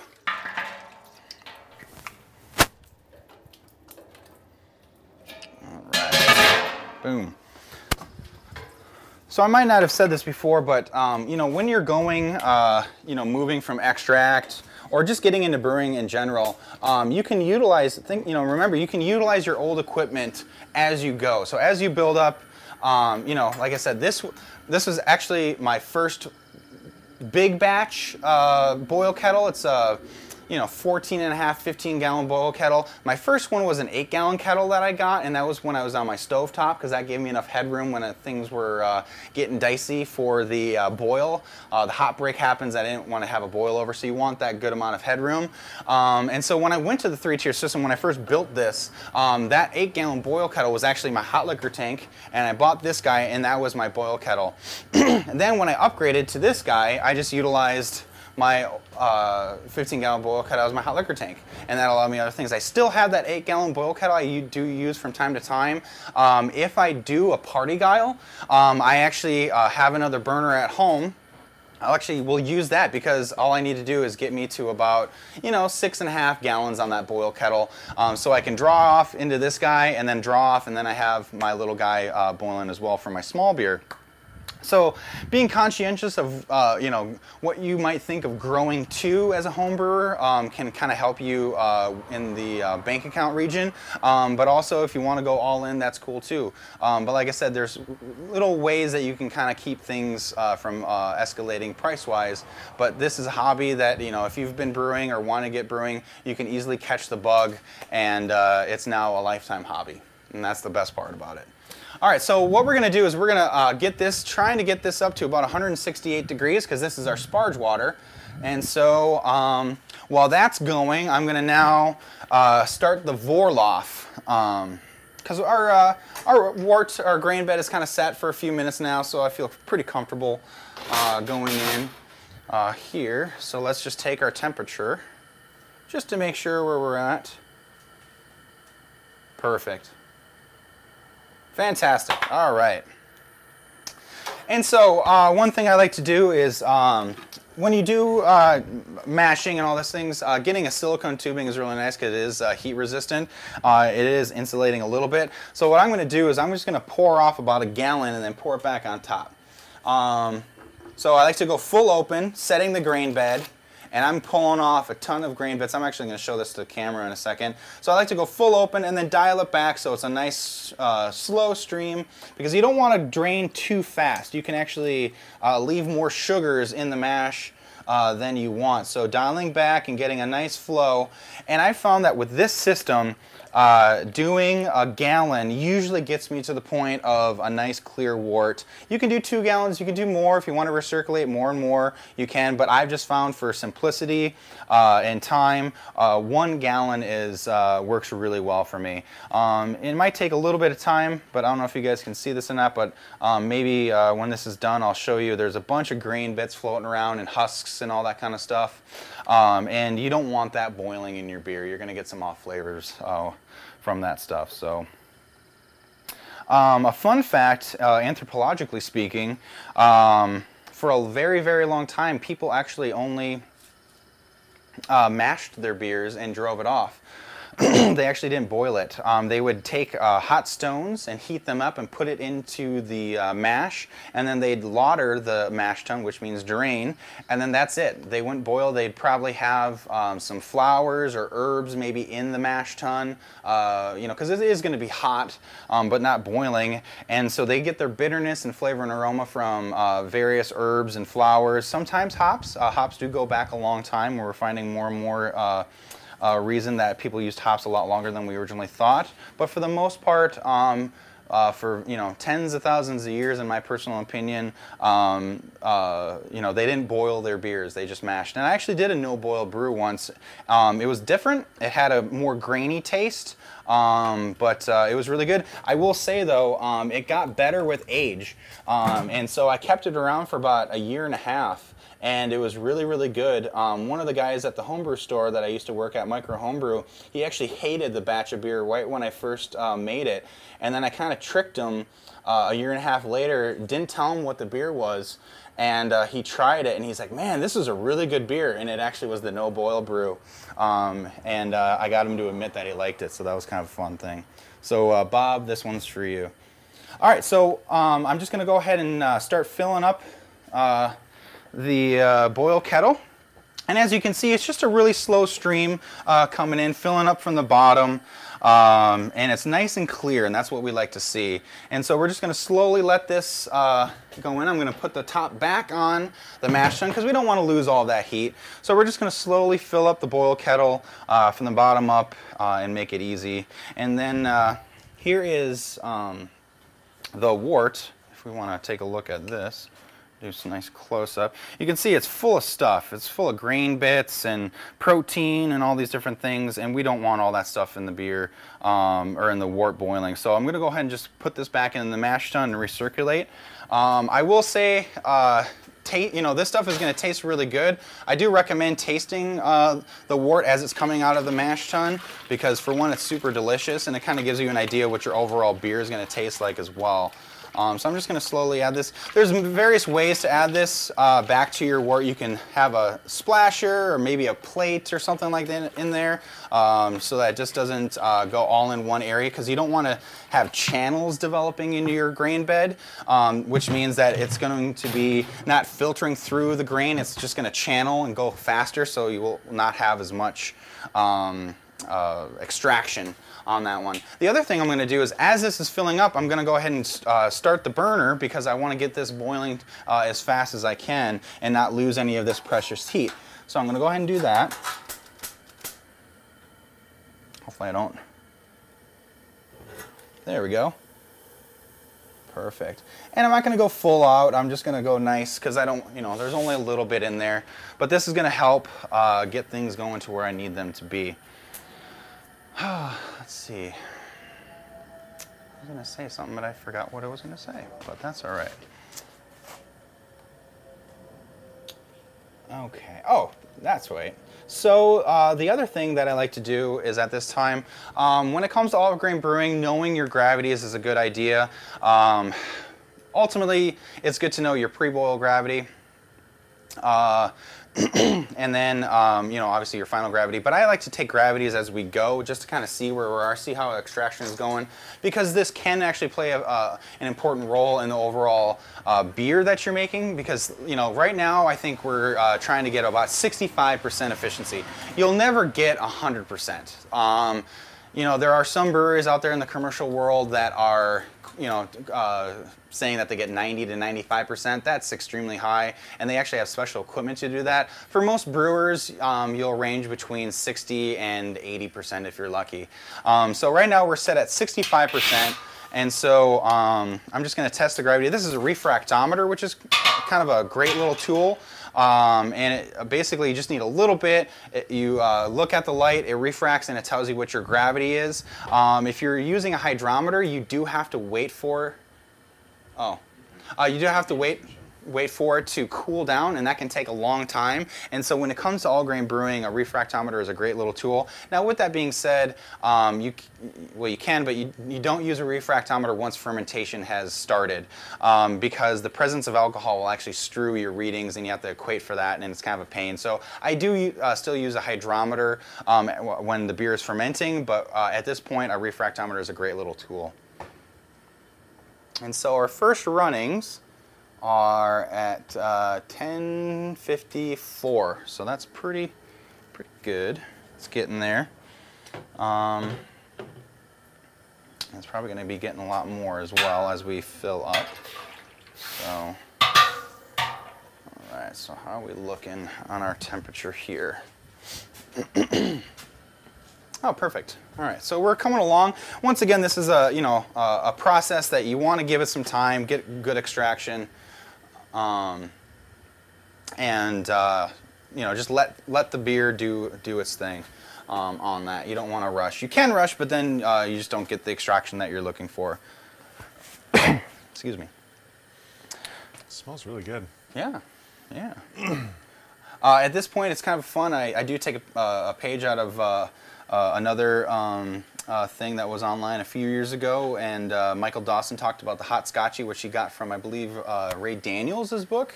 And basically, you take the fresh wort, put it in a coffee mug, and add a shot of whiskey or scotch to it, and it's pretty darn good.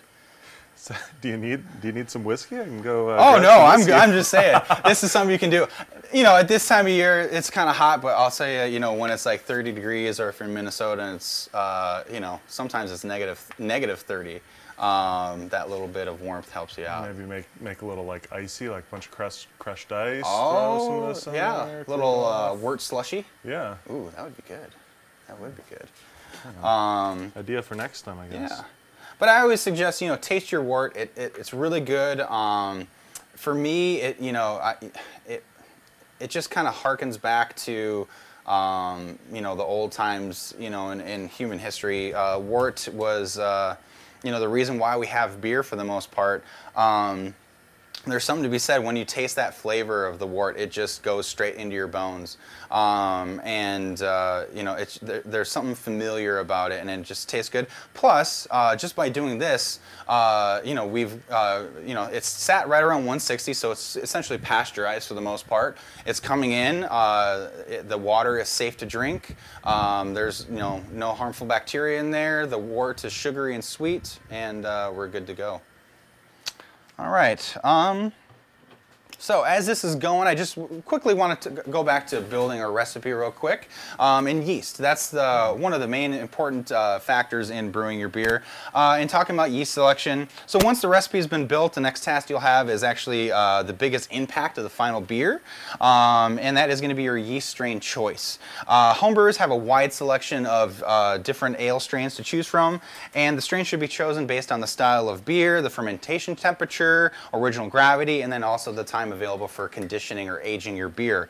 Um, so the question is clean yeast or estery yeast? Uh, do you want a lot of flavor um, from your yeast? So English and Belgian yeast can impart um, some great flavors to help beef up your IPAs or pale ales or anything else. Um, the other thing I want to talk about is, um, so with those yeasts out there, you have uh, dry yeast. There is less variety when it comes to dry yeast. And then of course, uh, liquid yeast. Now one thing I do want to dispel is for a long time people considered dry yeast to have a huge uh, cell count um, in their packs. Well, that is actually false. A lot of people thought they had about 200 billion, and most of the time it's usually between 75 and 100 billion. Um, so it's not quite the huge pitch that we thought it was uh, back in the day. So keep that in mind uh, when you're getting your yeast. You actually might need to get two packs or more depending on your uh, beer uh, that you're going to be brewing. And then when it comes to liquid yeast, a lot of them, Wyeast and White Labs are at about 100 billion. Imperial Yeast, which is the new yeast company uh, out of Portland, they tote uh, 200 billion uh, yeast cells when it comes to that. And so um, thinking about that, having the right pitch.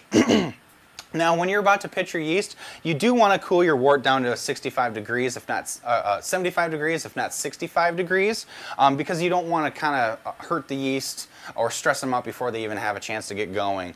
Um, and then uh, I like to pitch the yeast if it's dry on top of the wort, let it sit for like five to 10 minutes, splash it in. Um, and then I do like to use uh, pure oxygen uh, when I uh, uh, pitch my yeast or right before because they need a good amount of oxygen for a healthy fermentation. You can also splash it back and forth. You can go bucket to bucket and all that kind of stuff. But getting oxygen into your wort and getting some splashing in there is highly uh, viable to your yeast. Um, and then of course there is the lag phase or if my Minnesotan accent comes back, the lag phase.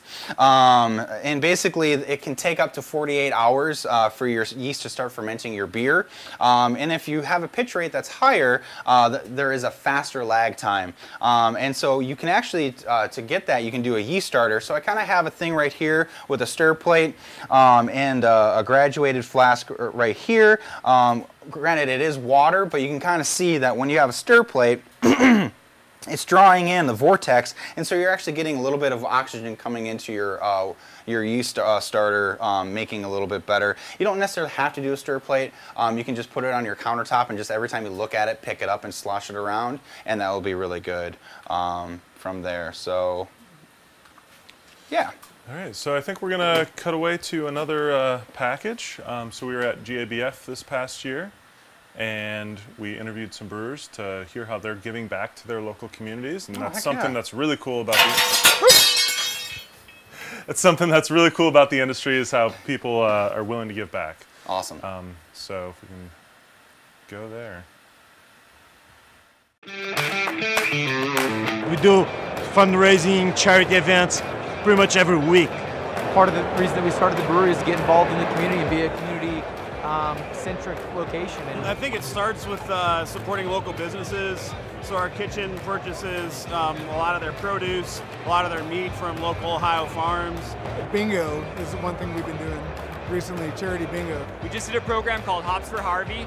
We donated kegs to a, um, a day where every single beer that was sold that day went straight to hurricane relief.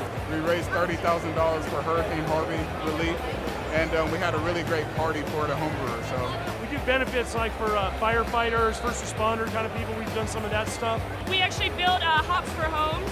And we get to build homes for people that wouldn't usually have a home. So And generally just give people good beer. That's giving back to the community in my, my mind.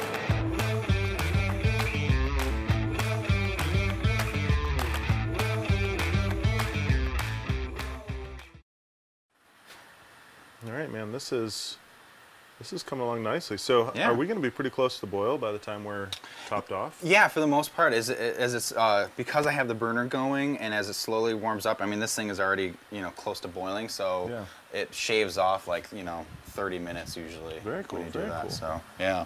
All right. Well, we'll we're back from uh, from that. I hope you guys enjoyed that little video. Um, that's just kind of a sampling. Like we love going to conferences and festivals and stuff like that, and Yeah. just talking with brewers and hearing hearing feedback from them and hearing kind of about them. So, um, anyway, we're transferring, right? What what what what's going on right now? Fill fill people in that haven't been watching. Yeah, yeah. So uh, if it's, you know if you're just tuning in, basically uh, we have soaked our grains in hot water, and we have some really great grain tea or wort as we call it, and that's pre-beer essentially before it's fermented.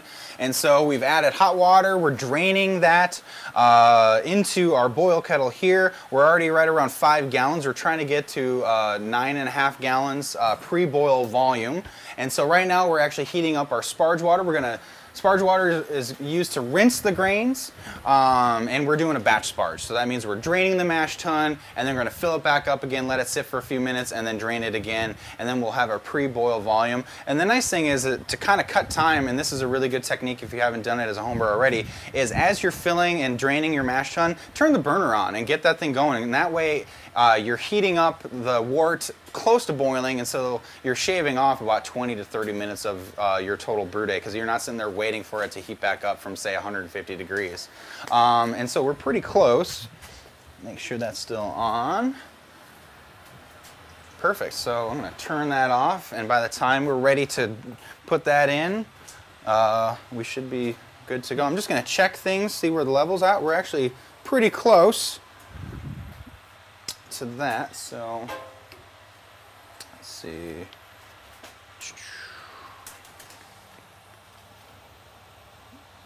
Let's prop this up a, a smidge. Oops. Oh, I won't worry about that too much. There we go. Okay. So I'm going to go ahead and just open up the valve slowly. Get in there. I'm going to close this. So because I'm I am doing a batch sparge, I am going to do a Vorlauf step because um, if I was doing a fly sparge, I'd be maintaining that level of the water. Um, but because I'm batch sparging um, and I'm going to stir up the grain again, um, I am going to want to do a Vorlauf so we don't get uh, more grain bits into our uh, boil kettle. So I'm going to close this off, and then this is going to be uh, draining into our mash tun and going from there. And then we should be able to uh, be boiling pretty soon.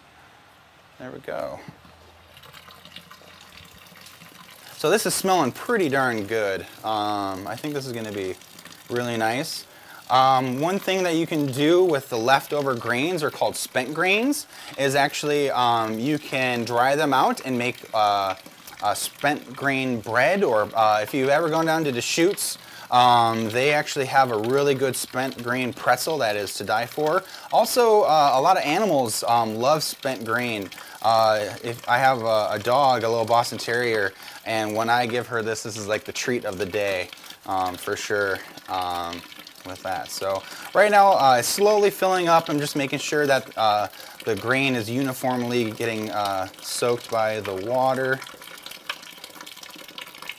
And once again, uh, you don't want any uh, thermal zones um, in your mash tun. There we go. Okay. All right, so while that's going, uh, we are actually going to do the first uh, hop addition, and this is actually, so instead of doing a hop addition right when it's ready to boil, I'm actually going to do something called a first wort hop. And what this is, that we're actually adding uh, hops to the wort before it's about to boil, uh, and the theory is, is because you're adding it before it's boiling, you're kind of locking in that flavor um, to this. The other thing that it's a good uh, bonus on this as well is that um, by adding hops before it starts boiling, you can actually try and prevent boilovers because hot boils are very um, uh, they will kind of ignite the wort into foaming up on you. They're very volatile. And so by doing a first wort, you can kind of counteract that uh, process from happening.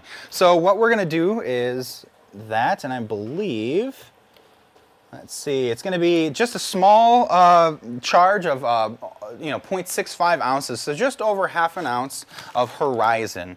Um, Horizon, just to kind of give you an idea of what Horizon hops are, I'm going to go to my trusty little book here. Um, that I do always recommend people get, especially if you're a brewer and you want to get into it. So Horizon is considered a dual purpose hop. You can use it for both bittering, flavor, and aroma.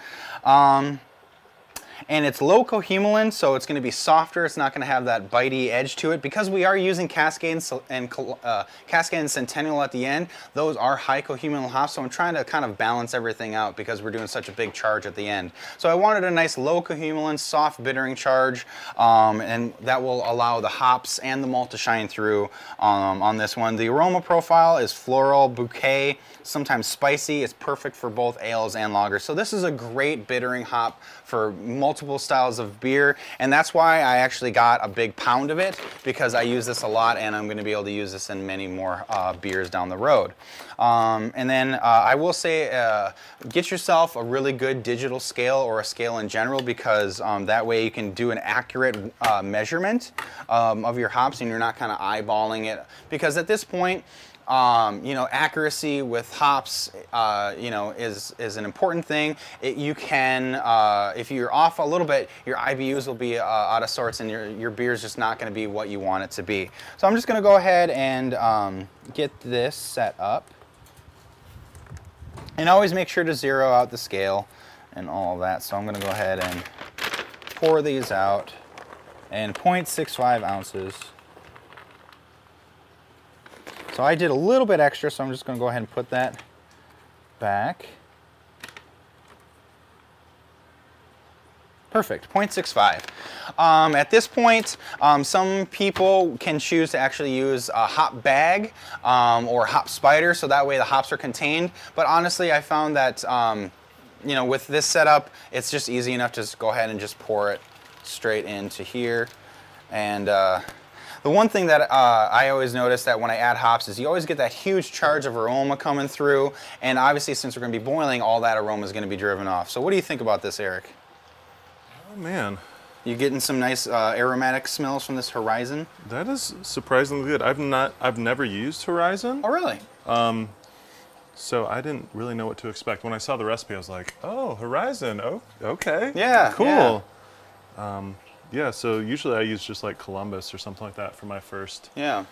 And Columbus is a, you know, that's a great bittering hop. Um, it's, you know, you know, the hop for most IPAs, especially West Coast IPAs, Yeah. and even your hazy, juicy New England styles. Um, Mhm. they will use Columbus. Um, but uh, I used to work at a homebrew shop here in Kenmore called Micro Homebrew, and I worked there for a while. And basically, I was able to really get a good idea of all the different ingredients and play around with the different hops. Yeah. And I just found, you know, with a pale ale, we're not in IPA land. Right. You want a nice, easy drinker that a lot of people can drink. Yeah, Um, definitely. Horizon Magnum is another one, Mhm, um, which is a good one. Um, but uh, you know, it's funny. I haven't used uh, uh, this in a while because I've been doing some other uh, different batches. But I could, with this aroma, I could actually see this in like, you know, like a good German lager or something like that Yeah, too. yeah, Um, Or even like a blonde ale. It's just, it's got a nice, kind of like a sweet, you know, Mhm, uh, mhm.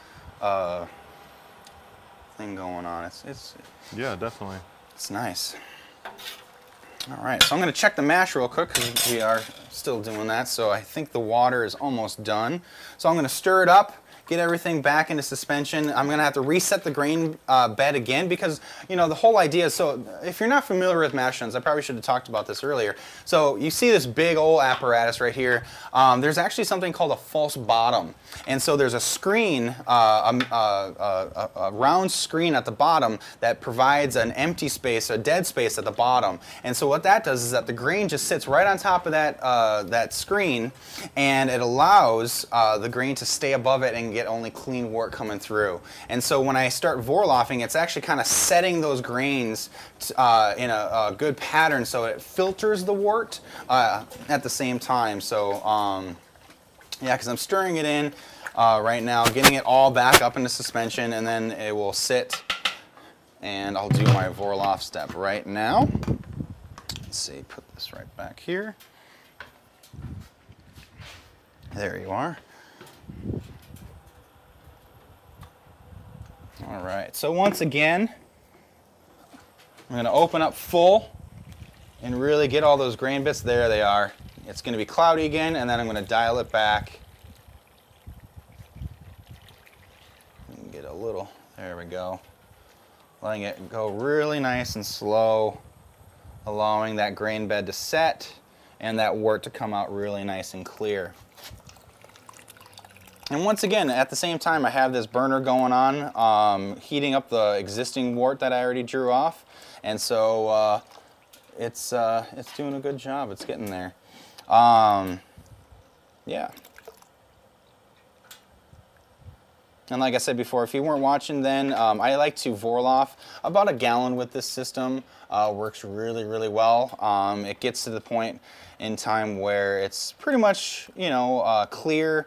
Um, there's no grain bits coming out. Um, and uh, the grain bed and everything has done its job. So I don't have to recirculate or Vorlauf too many times. Others uh, have different opinions and that's great. That's the whole thing about home brewing. You can do things your way.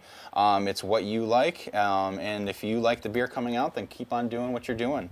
Um, but I will say, you know, keep an open mind and try some things from time to time, and uh, you might be surprised. You can get the same result doing less than doing a lot more and spending a lot more time.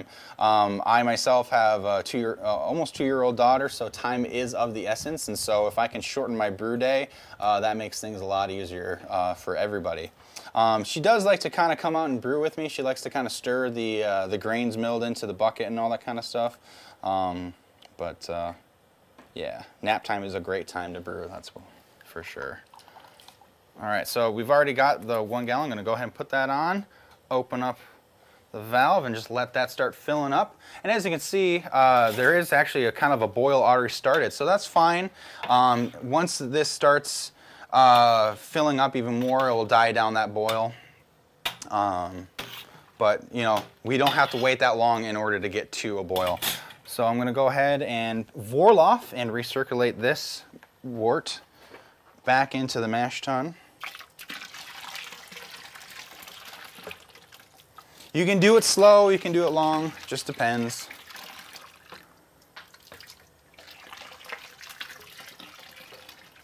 Once again, I try not to do it all in one spot. I don't want to develop channeling. There we go. All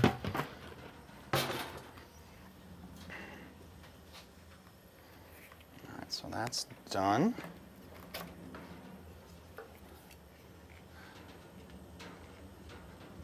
And then just like at the brewery over at Flying Bike that I work at, um, setting yourself up down the road and kind of getting yourself cleaned up as you go is always a really good efficient thing. And that way you're not tripping over hoses and all that kind of stuff. So, all right. So at this point, I am actually going to go ahead and put the lid, well, yeah, I'll put the lid on just a little bit there and kind of keep it heated a smidge as it's filling up. We'll check it from time to time. And uh, yeah, uh, yeah, so we're pretty much done with the hot liquor tank at this point. Um, the mash tun will be done and then all of our focus will be on the boil kettle. And uh, this is, is going to be a 60 minute or an hour long boil uh, today, uh, so nothing too long. Um, uh, some people like to have a 90 minute or an hour and a half long boil. Uh, sometimes that can be from uh, the use of Pilsner malts that can kind of have a higher uh, collection of um, uh, products that can give you uh, higher levels of DMS, which can create like corn-like vegetal flavors in your beer. Um, I've done both an hour and an hour and a half boil with Pilsner malts. Um, it just kind of depends. Um, some people can pick it up, some people can't. Um, but what do we have here? So this is a uh, wheat uh, wheat ale, lime wheat. Um, yeah. Skagit Valley white wheat a little bit of Copeland base malt, and then four zested limes for a five gallon batch. So wow, comes through a little bit. Yeah, um, I'd say so. Yeah. Nice refreshing Cheers. beer for for standing in the in a hot sunny day. Ooh, that is nice. Crystal hops. Um, oh, crystal. Yeah. Nice. Um, I actually just got some uh, crystal. I haven't never used it before, so I was curious to see. Yeah, yeah. So it's just really late addition, and that's that's about it. It's oh wow, pretty simple. Yeah. No bittering charge or anything. Or? Uh, like a quarter ounce of Columbus. Just oh, just to a give smidge. It something, yeah. yeah. I like that. Yeah. yeah. Well, I wish you guys could be tasting this because this is like perfect for today. And this this actually killed the keg too. I went and filled the growler. Oh, these are the lucky glasses. Yeah. Yeah. Yeah, for sure.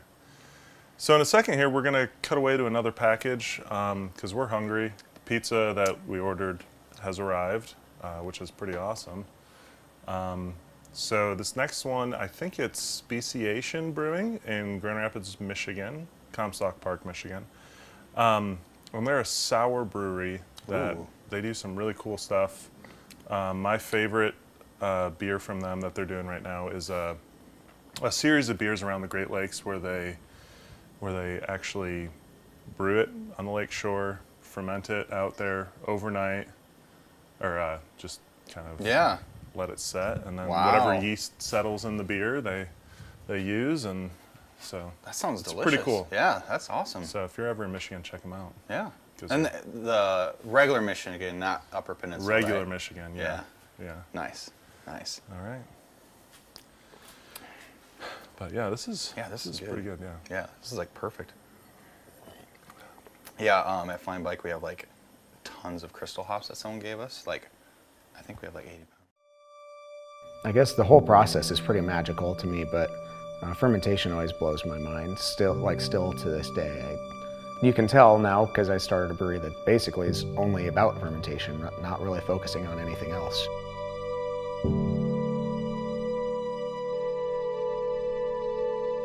So we started off as we were just going to make session beer, basically. We were going to make low alcohol, crushable, drinkable beer. The more I did the business plans, I rewrote and rewrote business plans, and I was like, you cannot make a profitable brewery with such a tiny little product. it, it would be fine for other people if you have the startup capital, but we just didn't.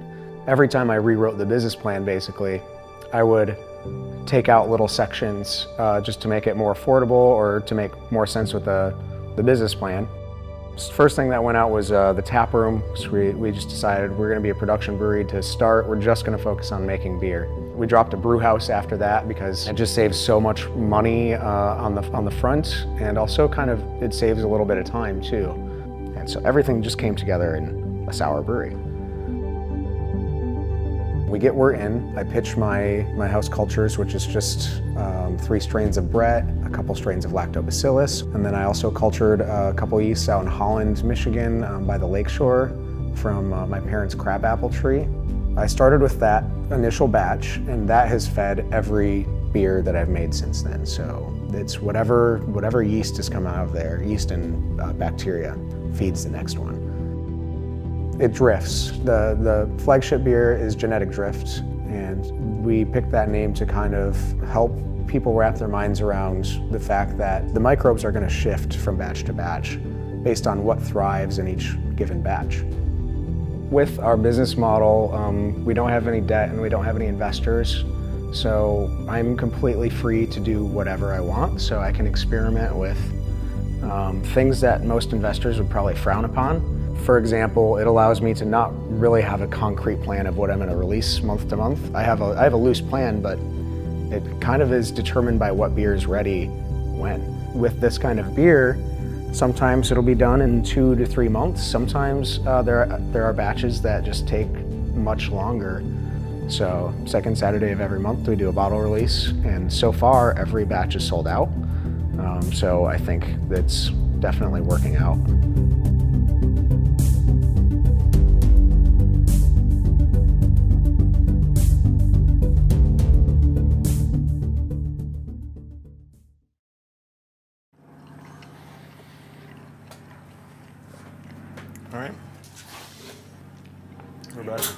Yep. All right. So um, we're still chewing on some pizza. That was um, quite a bit to chew, but. um, so we had a request from Jason to talk about the recipe a little bit again. Um, so malt wise, well, so we're doing a pale ale today, right? Um, malt wise, we kind of wanted to stick with something that was Pacific Northwest. And what's more Pacific Northwest than Skagit Valley Malt? They're up. Yeah. They're up just an hour north of Seattle. So Top 2% soil in the world. there we go. It's just a awesome place to grow malt. So we're doing uh, Copeland, 10 and 10 pounds, 10 and a half pounds. 10 half pounds, of yeah. the Copeland Pale. Uh, we have some red wheat. We have some light Munich. a little bit of C15. Yeah, uh, pound and a half of light Munich so that the color is not too uh, dark. Uh, and then a pound of uh, red wheat, and then just a nice little eight ounce charge of uh, Crystal 15. Nothing too sweet or caramely, just a nice little note in there. Yeah, and that really kind of helps make a nice base for some of these pale, for some of these hops to, Mhm. to complement in a pale ale. Yeah, because you know, in American Pale Ale, you you know, for the most part, especially here on the West Coast, it, it's you know, it's a little bit hop forward. So you Mhm. want the malt bill to, you know, be the foundation for the ha- to hops, you know, to kind of like dance around and Yeah, you know, and yeah, all that definitely, kind of stuff. definitely. So, yeah. All right, and then uh, where are we at in the process so that people that might just be tuning in can kind of yeah check it out and catch up? Yeah, so basically we've uh, here comes the here comes the garbage recycling truck. truck. There it is. Uh, so basically we've uh, heated up water, uh, soaked the grains in our mash tun here. We've already uh, drained out the first portion. We're now draining out the second portion, trying to get to about nine and a half uh, gallons. Excuse me.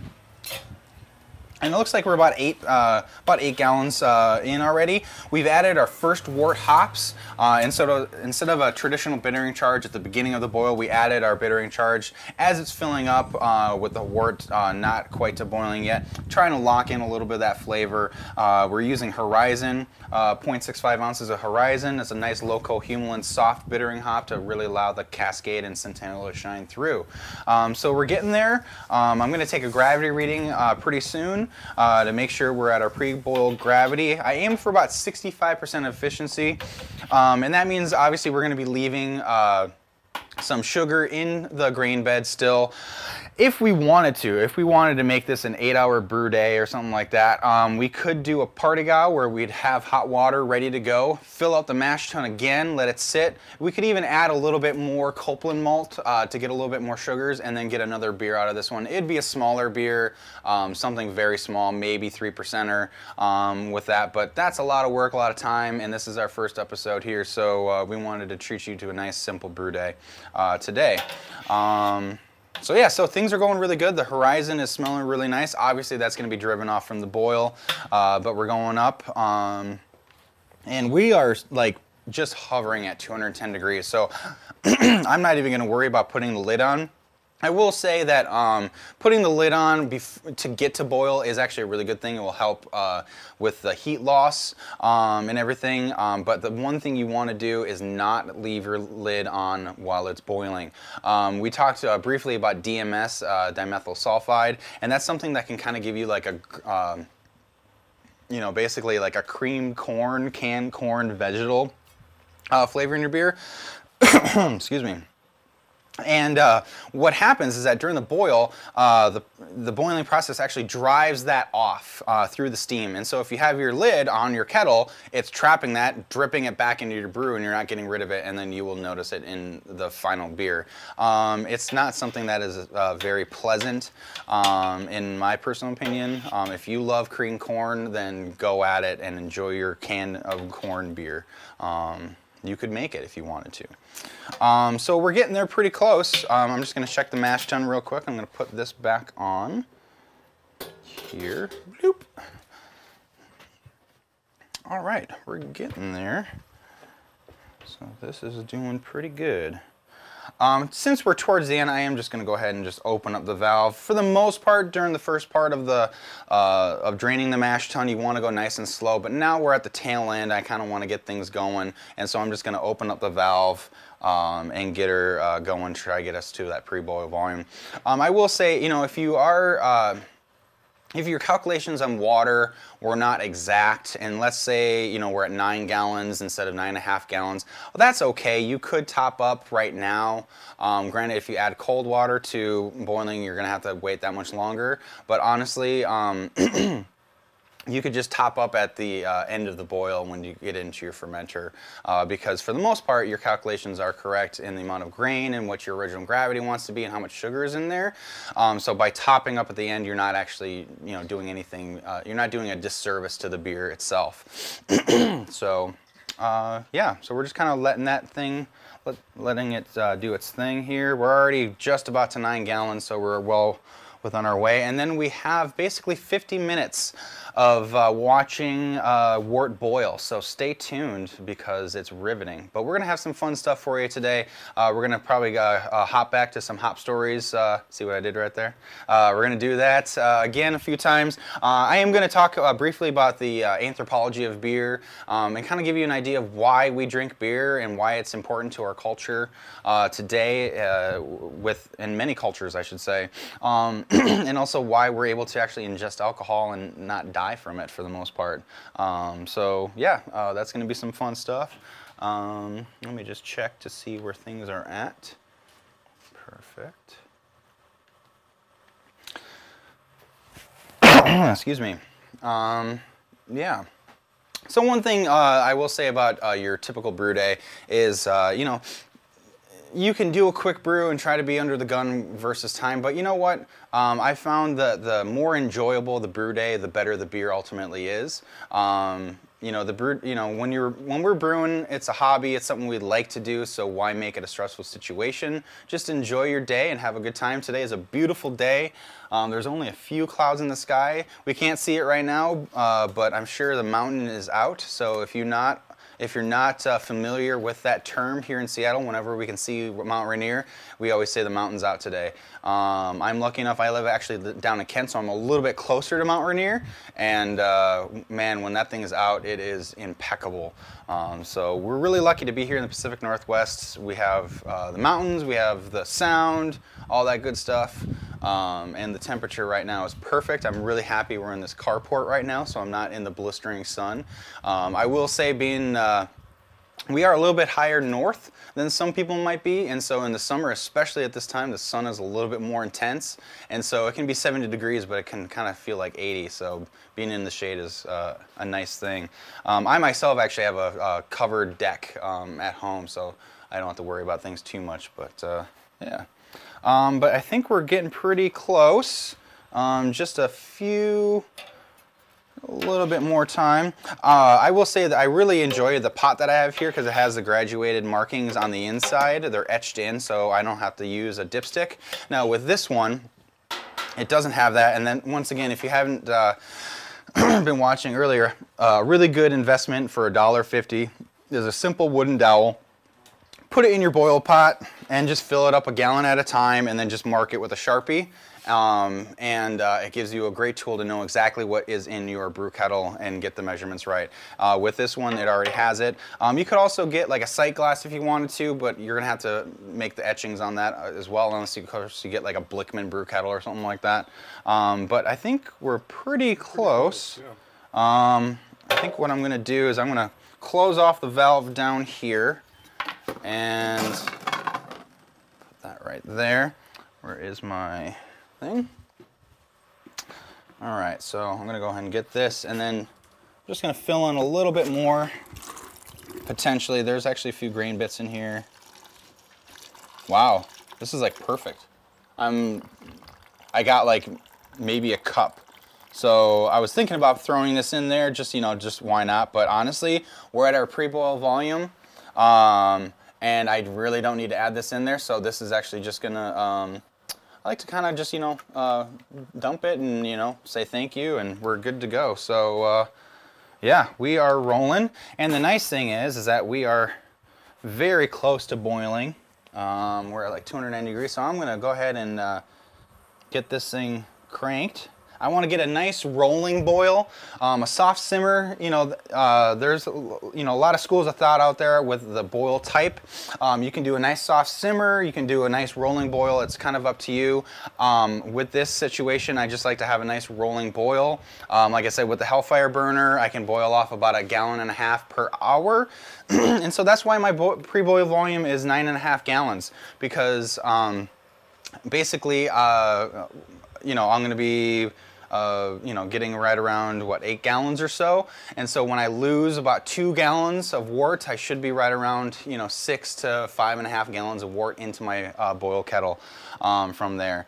Um, so what I'm going to do now is we're at our pre-boil volume and I'm going to go ahead and take a gravity reading. So once again, if you weren't uh, with us before, um, I have right here a refractometer, and this is actually something that not only brewers use, but also uh, uh, uh wineries and the vineyards will use. Um, other people will just, you know, so if you're in the uh, in the vineyard, you kind of want to know what the potential uh, sugar is going to be in your grape. You'll just take a grape and sprig it on there, throw it down, and then look, and then you'll know basically what it is. Same thing with uh, brewing. We're going to take our pre-boil uh, volume of wort here, which is nine and a half gallons, and we're just going to take a little bit. All you need is just a little bit, a little splash, and that's all you need. Um, with most refractometers, uh, the, the temperature will already kind of uh, uh, help you. Uh, it will already kind of um, uh, what's the word I'm trying to think of? Uh, cool. It was there and then went. Um, it calibrated. Thank you, Eric. Uh, so we'll kind of calibrate for the uh, the temperature that it is because obviously we're at boiling. Um, I do personally like to keep it about you know 30 seconds. Let it kind of do its thing. Um, I have found that if I try to take a reading right away and then I go back and look about a minute later, it has changed. So I do like to kind of give it a little bit of time. Um, and so we just find a good light source. Natural light is always better when it comes to refractometers, but inside light works as well, but I usually get a better reading. Um, let's see, let me look. Let's see here. There it is. All right, I'm going to say 1048. So let me look at my recipe here. Oh, that's actually good. So according to BeerSmith, um, I needed, uh, I was supposed to be at 1046, so we actually got a little bit higher uh, than we were expecting. So I would say we're probably more like 67% efficiency um, for the most part. But uh, yeah, so that's good. That's not a big jump, so it's not anything to be, uh, you know, uh, scared of or anything like that. We don't need to really adjust our hops uh, and bitterness levels. Things should be well balanced. And uh, now, if we were 10 points above, say we're at 1058, that's a different game. We might want to think about adding a little bit more bittering hops because our alcohol is going to be a little bit higher. So we want a little bit more balance. And so that's why when it comes to all grain brewing, knowing your gravities on the onset can change, uh, you know, how you uh, go about um, brewing your beer.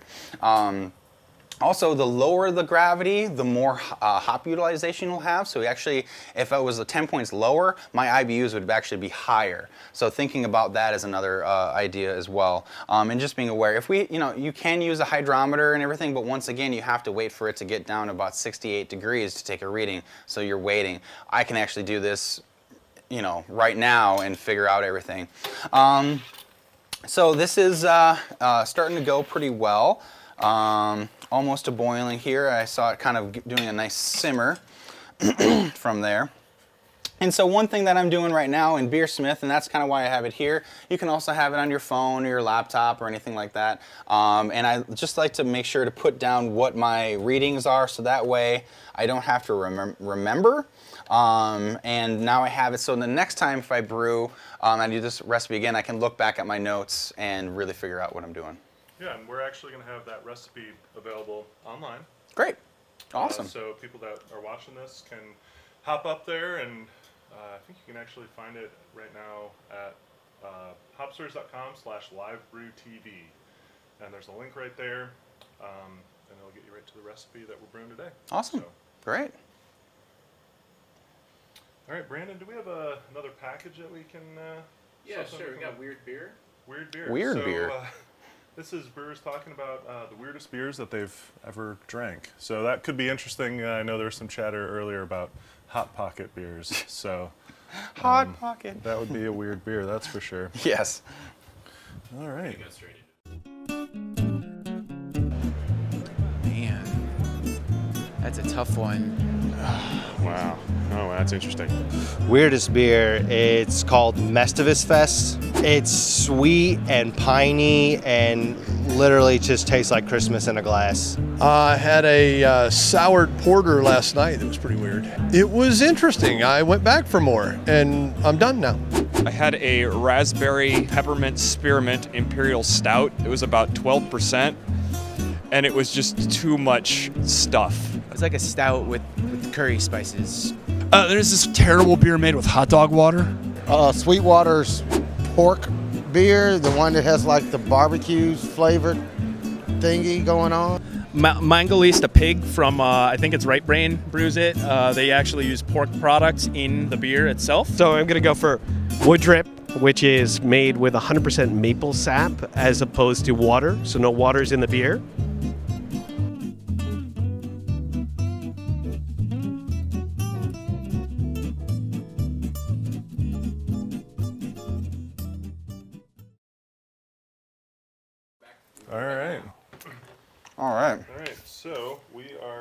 With we are back with live brewing on Hop Stories Facebook page, and uh, we're here with Jesse, and he is showing us how to brew a pale ale today, which is, you know, it's one of my favorite styles, just because it's it's it has some of the same characteristics as an IPA. You know, I want like a hoppy beer, Mhm. um, but it has lower alcohol, so you can drink a few of them. Yeah, it's and- sessionable. Yeah, uh, yeah, and you're still you're still doing all right.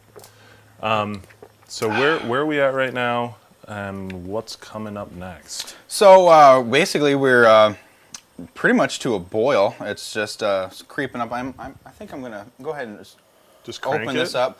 Go Hellfire mode, Oh my which is what goodness. Blichmann talks about with this burner. Um, this thing throws out a ton of BTUs, and so you can get from uh, not boiling to boiling pretty quickly. Um, you do need to be careful um, to kind of uh, back her down once you get to a boil, because this thing can actually come up pretty fast. Oh yeah. Um, if you have never had a boil over, um, you're lucky. Uh, boil overs are not fun. It gets everything sticky. And the old adage is true. A watched pot never boils, but an unwatched pot always boils over. That's a good thing to think about. Um, and so, uh, and, and the reason it, it, it uh, boils up is everything. Just like think of like you know when you're making macaroni or pasta or something like that. It's all those starches and sugars kind of coming up, and all the proteins, and it starts coagulating, coming up. And so, um, what we're looking for is to get a really good rolling boil. We're getting a little bit of hot break right here, um, What which is, is good. what is hot break? Uh, hot or hot break is um, all the proteins and uh, you know grain bits uh, coming up, um, and then after a little bit, it'll just kind of go back into the beer and go away. Sweet. So yeah. So I'm going to go ahead and back this down. Now we're up to a boil. So let's start our one hour. So it's like perfect. We're at 1:30. That's so awesome. 2:30 we'll be done with the boil. Yeah. Um, so I'm going to back her down. Because um, in my, you know, like I said before, my personal opinion, I like to have a good rolling boil. Um, uh, you can do a simmer and everything like that, but I don't want anything that's like too combustible. We're not looking at uh, the, you know, volcano right now or anything like that. So just back her down. There we go. Plus this thing, you know, like I said, I'm gonna get about a gallon and a half uh, boil off. If I have this thing on Hellfire mode the entire time, it's gonna be an extreme amount of uh, boil off. Now, like I said before, if you do have, if you do boil off a little bit more than you were thinking, you can always uh, top up at the end with cold water. Um, uh, you know, even when it's hot, you could do that. But um, if you you know, are already done chilling and you're only in your fermenter at like four and a half gallons and you want to be at five, your calculations have already said that you're going to be at five and a half gallons. So your sugar level is about the same. Um, if you top up. And so you're supposed to have, if you, you know, according to your recipe, like this one, I, I want to have five and a half gallons in my fermenter because then when I dry hop and I lose uh, beer to the yeast cake and the transferring and all that, I want five gallons at the end of the day. I don't want to have four because it's the same amount of work no matter what, so you might as well have the amount of beer that you're looking to get.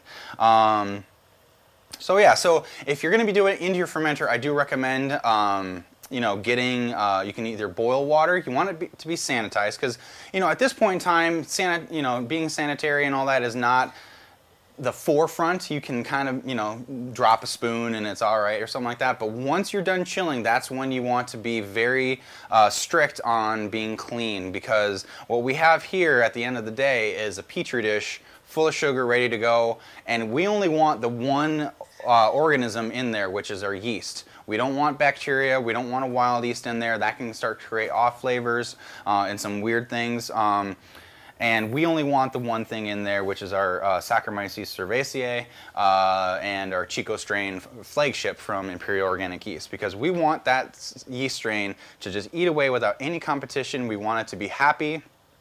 Uh, we don't want it to stress out because just like us, when it's when we stress out, bad things can kind of happen. We feel gross and everything like that. So we want our yeast to be very happy because there is an old adage that says brewers make wort, but yeast makes beer, and that's exactly true. Without yeast, we wouldn't have beer or wine or anything like that.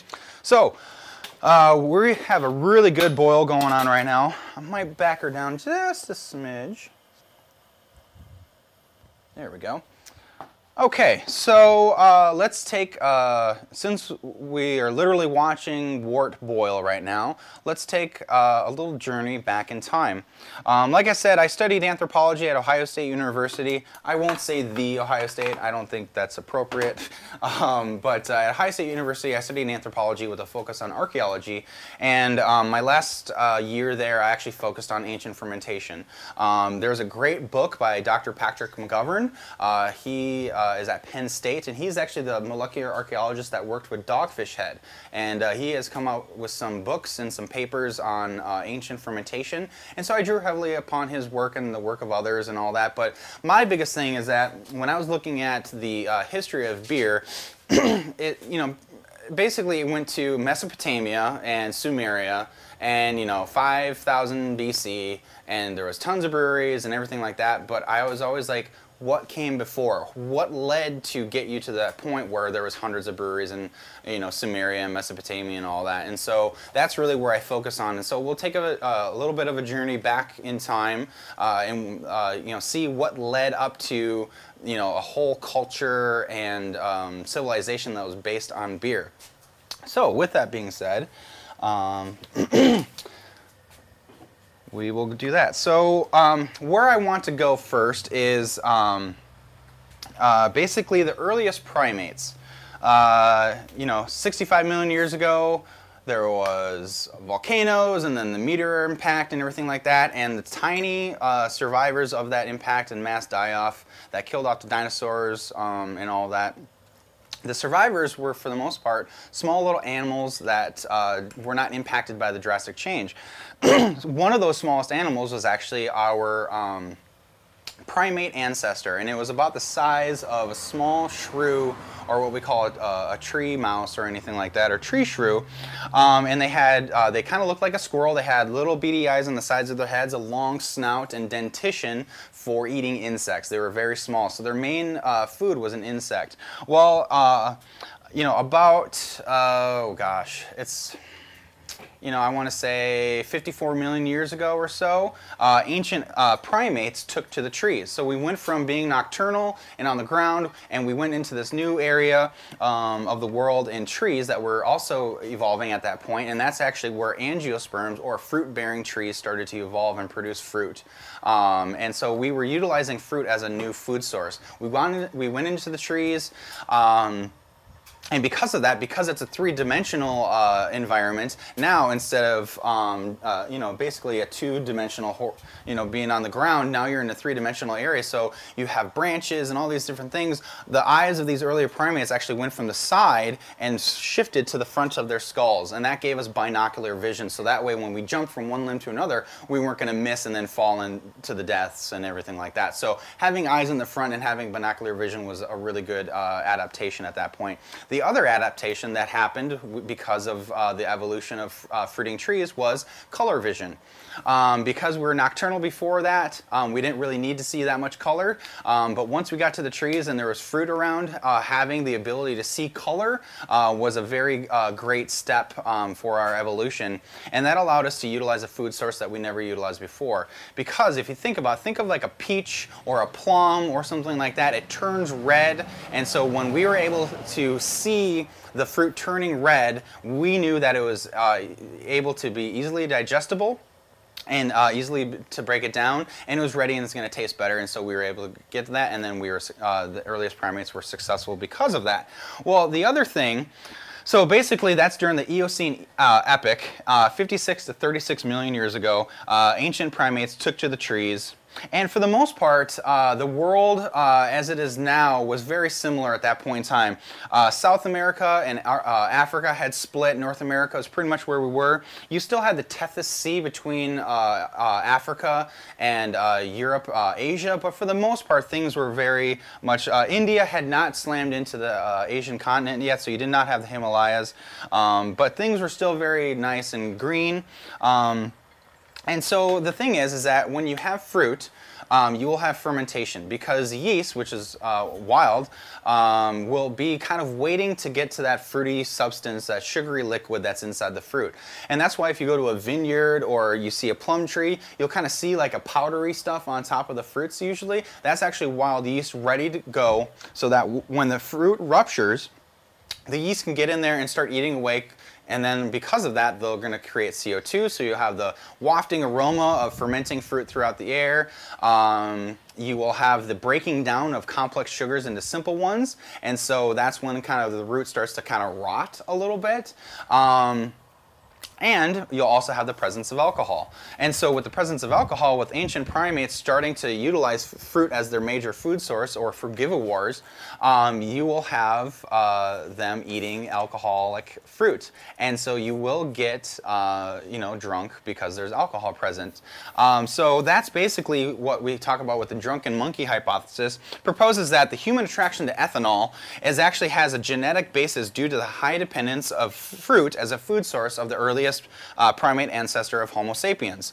Ethanol naturally occurs in ripe or overripened fruit, and consequently, early primates de developed a genetically based attraction to the substance. Because at that point in time, you're going to, fruit is not growing throughout the year, so you're going to gorge yourself on as much fruit and alcohol as you can to build up a fat layer to survive the time of year that does not have any of that from there. So you're going to gorge yourself, you're going to be able to. Um, ingest the alcohol as a food source. So one of our, uh, there's a, a, the thing called a tree shrew, and that's what they call a living, uh, uh, uh oh gosh, uh, a living fossil. And uh, it, it's still alive today, and what it does is it actually eats the palm sugar or the palm sap on fruiting trees of palm trees, and that stuff is highly alcoholic, and they can actually eat um, alcohol up to was it 90 or 80 percent I think, and they don't get sick or drunk. They actually can metabolize all of that alcohol and they utilize that as a food source. And so with that being said, because it's a living fossil, quote unquote, um, we can kind of see that's why we are able to actually ingest alcohol and drink a beer, and an hour later we're not drunk. We can actually metabolize that through our liver, and uh, we're utilizing that to uh, gain uh, uh energy. So um, that's one of the, we just kind of lost it a little bit uh, throughout the ages um, from our most common ancestor. Um, the other thing I want to talk about is honey. Um, honey uh, is derived from bees. Bees go out and get pollen uh, from flowers. Um, and bees kind of started evolving, um, highly, honeybees started really evolving right around the same time that these uh, flowering trees started evolving as well. Kind of makes sense, kind of a symbiotic relationship between the two. And so honey is one of the most energy dense foods that can be found in the natural world. It contains about 80 to 95% sugar, primarily fructose, which is a simple sugar, and glucose, also another simple sugar. So it doesn't take a lot of energy energy to break it down uh, and metabolize, so it's very uh, good for us. And it also has several uh, essential vitamins and minerals. Uh, honey that contains bee larvae is an excellent high quality food source uh, full of energy and protein and fats, and basically has been harvested for very much of human and hominoid history. And you can actually go see, if you go, go ahead and Google it and do honey hunters, you can actually see cave paintings and rock uh, drawings of honey uh, hunters from way, way, way back. Um, there, and there actually is uh, still some honey hunters in uh, in Tanzania, um, uh, and there's still actually a hunter, I, believe that's the Hadza, and um, they're uh, uh, hunter-gatherers that live uh, in Tanzania, on the border of Kenya and Tanzania, and they actually have a really cool symbiotic relationship with the bird, and the bird will actually seek out uh, beehives that has honey because when they do that, they actually will go back and start whistling to the, the, the Hadza, and the Hadza will go to where the bird takes them, uh, get smoke going, burn out the uh, bees, get the honey, and then they always give honey to the bird. So the bird is actually getting food through the relationship with the human. So that's kind of a fun little thing that goes on with that. Um, as well. Um, so the really interesting thing uh, is that, um, and I'll cut this uh, pretty short, but um, the reason why we, uh, I believe and others believe that uh, humans have been eating honey for a very, very long time is we can actually, we've documented uh, chimpanzees in the West African forests uh, actually hunting honey. They go up into the trees or into logs and they have a diverse toolkit of branches and sticks that they will use to pound and get the um, the honey uh, or the, the you know the, uh, the log hole opened up kind of in a larger and then they'll actually chew on a stick get it frayed jam it in there swirl it around and then pull out honey and then they start eating honey. And the significance of that is that if they are doing that most likely our, our common ancestor between 7 and 9 million years ago also did that too. And so because of that hypothesizing of that activity that we're seeing today in our most common ancestor uh, and cousin that shares you know was it 98% of our DNA. Um, because honey ferments naturally when diluted to a 70-30% ratio, um, it's most likely that uh, we were consuming a honey like uh, mead uh, early on because um, if you have a honey hive and a rainstorm comes in, and it gets you to that 70% water, 30% honey. Uh, yeast is already there, and that's actually the precursor to Saccharomyces cerevisiae, which is the yeast that we use to ferment now with our beers. It's sitting there dormant in the high sugary uh, uh, environment, and as soon as it gets to that ratio, it kicks on and starts fermenting, sending out CO2, wafting into the air, and, and other animals will go to it. And if we see that chimpanzees are eating honey, honey perhaps maybe our, uh, our closest living ancestor, or even also the Australopithecines um, from like 4 million years ago were doing that as well, and so they might have been ingesting alcohol. And where that plays a key factor is that a recent study actually saw that there's a gene in our saliva um, that they found that mutated drastically about 9 million years ago that allowed us to actually um, utilize alcohol as uh, and metabolize it as a food source much more than it was previously. So we actually jumped uh, uh, a ton uh, from being able to like you know ingest a little bit of alcohol to all of a sudden being able to ingest a lot and not getting sick. So it was a food source. So that says that we were actually ingesting either fermenting fruits or potentially honey uh, as well. Yeah, so that's kind of like a, a basis of why we might be attracted to um, ethanol or alcohol and uh, utilizing it. So I think it's a good time to take another break, uh, get some water. It is rather hot, and you're standing between a couple of burners. Um, so we're going to watch a little video here about uh, Wolves and People, Newberg, Oregon. Sweet. Uh, really cool brewery that does a lot of uh, foraging and kind of using ingredients off the land. Um, and we'll uh, we'll cut away to that in a second here, and it'll be it'll be a pretty good, good video. Sounds good. So, uh, Can't wait. We're drawing as much as we can from not only our own farm, but the farms in the area, and I think to me that's part of the essence of farmhouse brewing.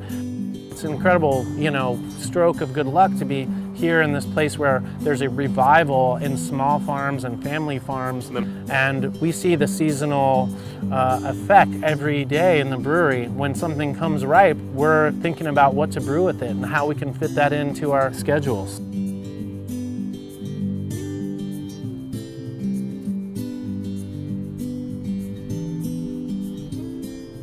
We're at Springbrook Hazelnut Farm. Uh, this is uh, the farm where I grew up.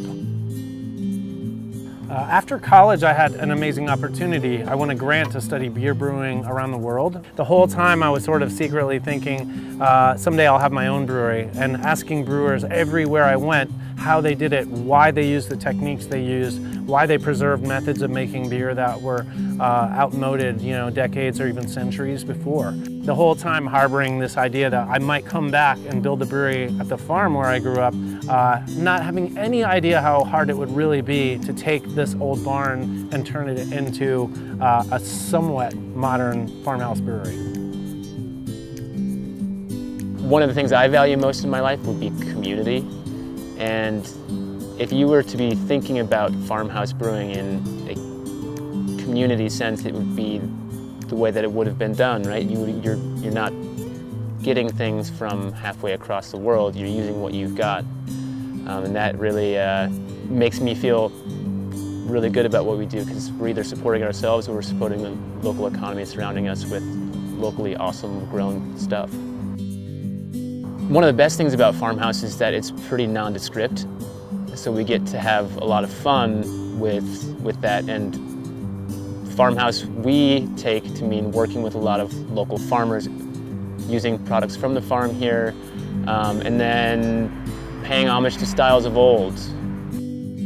I think that our our success is owed every bit to uh, to that um, incredible generosity that the community has shown us here in Newberg, in Portland, in the Pacific Northwest, and, and even beyond. Uh, I'm really, really grateful and honored to have the, the chance to do this at all.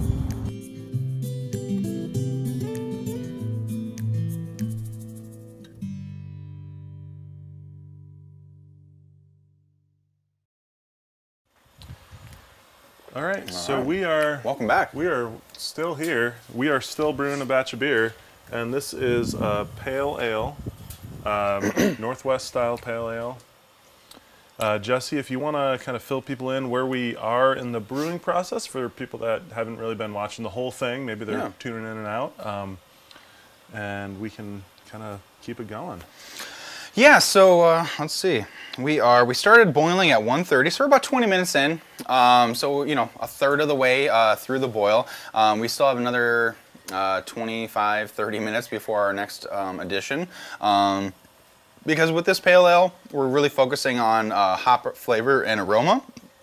And so we just did a nice little bittering charge uh, called a first wort hop um, before it even started boiling. Um, and then we're to boil through and then do a huge addition at 10 minutes and then uh, zero minutes or flame out.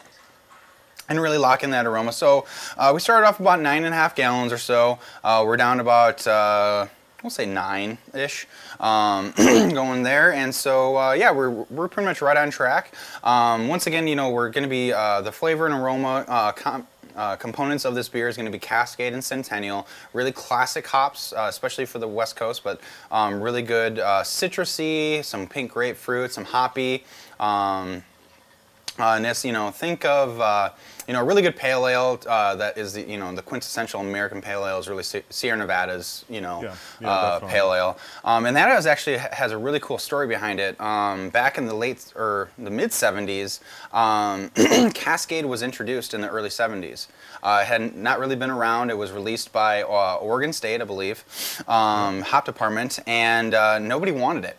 No one. They thought it was too pungent, too big for the beers because that was really during the macro times of. Right, Uh, of everyone wanted just the same yeah, basic yeah. hop. And uh, uh, coincidentally enough, uh, Coors was the company that saved that hop. No one was buying that hop, Hmm. and Coors decided to go in and bought it and contracted it. So then they were able to grow it, and they were just using it in little doses because it was a little too much for them. And then uh, a little brewery um, in uh, San Francisco, Anchor, uh, decided to uh, try the hop and they put it into their Liberty Ale, and uh, that was really the first. Um, besides the, uh, um, oh gosh, what's the name? Um, I'm totally spacing on it, but uh, anyways, that was really like the first true like American IPA of the modern world, um, and they used uh, Cascade. And so um, once that happened, then kind of uh, talk really started circulating around the brewing world in the mid 70s, and then in the uh, late 70s, early 80s, that's when Sierra Nevada started making their pale ale, and it took off from there. Um, a heavy component of Cascade in that one. Yeah, yeah, and the other hop we're using in this one is uh, Centennial. Yeah. And Centennial was actually developed as like Super Cascade. That's right. Yeah, that was that's the other uh, moniker for and it. then Sierra Nevada for their Torpedo IPA, that was what they went Ah, heavily into. gotcha. So that was kind of like the the pale was the Cascade, and then the IPA was the Super Cascade. Oh. So. I like that. And then also, if you guys have had it, uh, Bell's uh, Two Hearted Ale, which is also like one of the top performing IPAs in the country on a lot of lists and everything, is all Centennial. Yeah. Yeah. Um, on that one. So. All right. So yeah, so two great hops in a, in a nice, simple American Pale Ale. Uh, this should be a really good drinker, um, and uh, very uh, familiar with anybody who drinks it if they, uh, you know, grow up with uh, craft beer and stuff like that. So. Yeah, and be- before we took a little break, you were really talking about kind of why humans can process alcohol and Mhm. stuff like that. Um, is there is there more to the story? Is, Yeah, there's a lot to the story. um, I'm kind of just giving you the cliff notes um, when it comes to this stuff. Um, you know, like I said, Dr. Pat McGovern of uh, Penn State, he has literally written the book um, on this stuff. And to kind of give you a, a, an idea of what a molecular archaeologist does. So, for example, uh, Dogfish Head, they have their Midas Touch.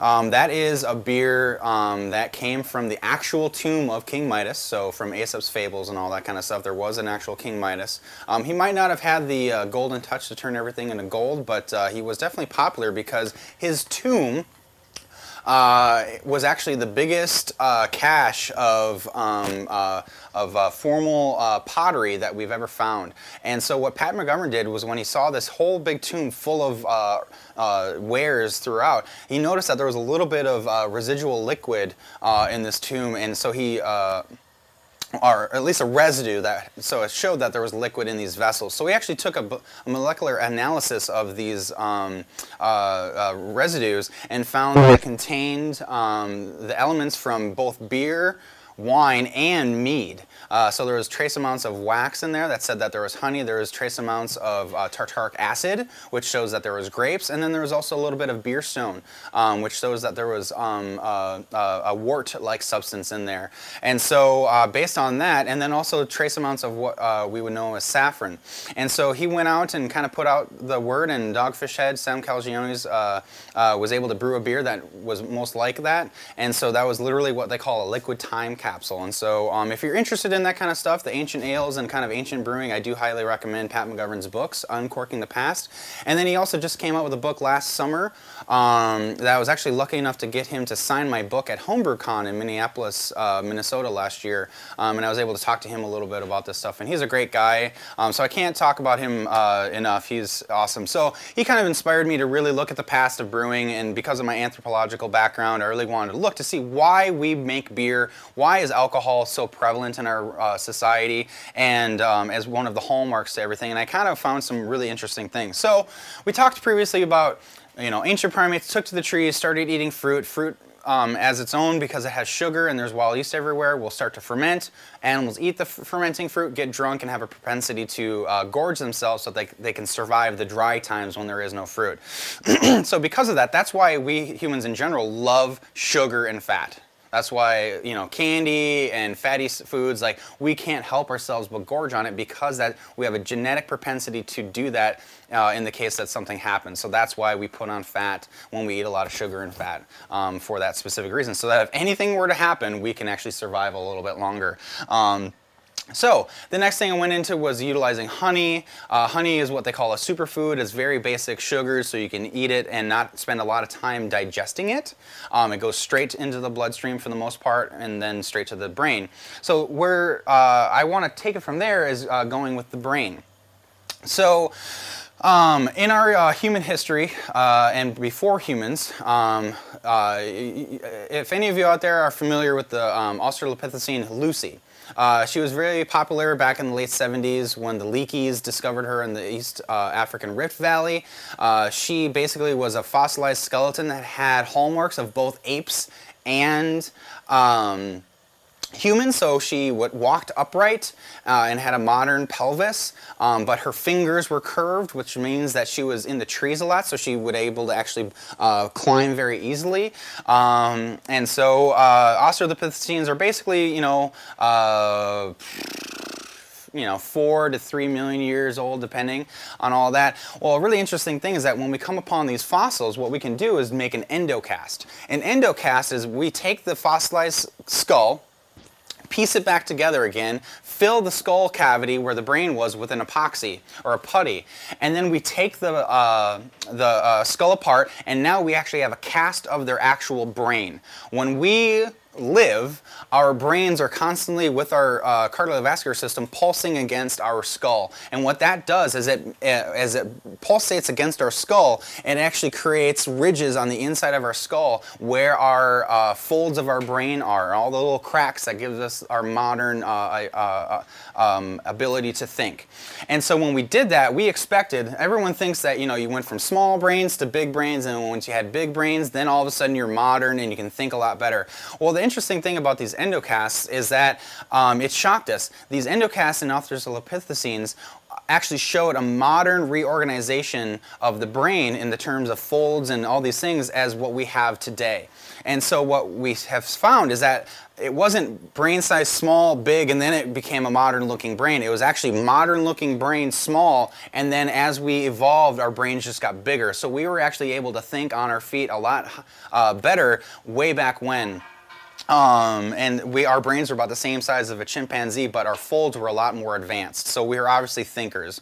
Um, well, one of the only ways that you can actually get a reorganization of the brain is when food is um, not necessarily as scarce as, as it was, and you're utilizing less energy to digest your food so that more energy can actually go to your brain development. And what happens with that is um, you need to have a either cooked foods so the uh, food is broken down so it's easier to digest, um, or simpler foods. So for example, when you eat a raw food or have highly undigestible foods, you need a bigger uh, stomach cavity to uh, help digestion. And when you uh, have cooked foods or simpler foods, um, you don't need all that uh, energy going to your gut. It can go straight to your brain and your brain can develop.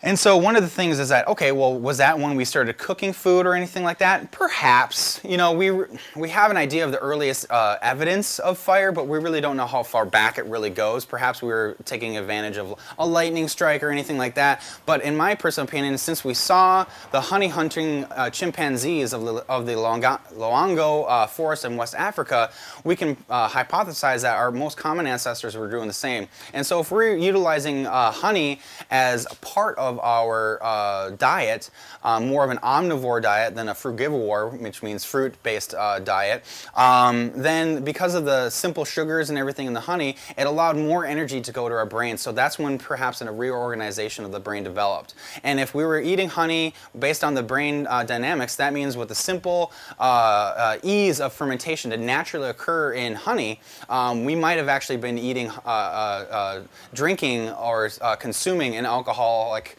uh, beverage out of a tree or a log or somewhere um, a lot earlier on. And the onset of drinking alcohol uh, and consuming it uh, actually does have its health benefits. Moderate drinkers are actually healthier than non-drinkers or binge drinkers.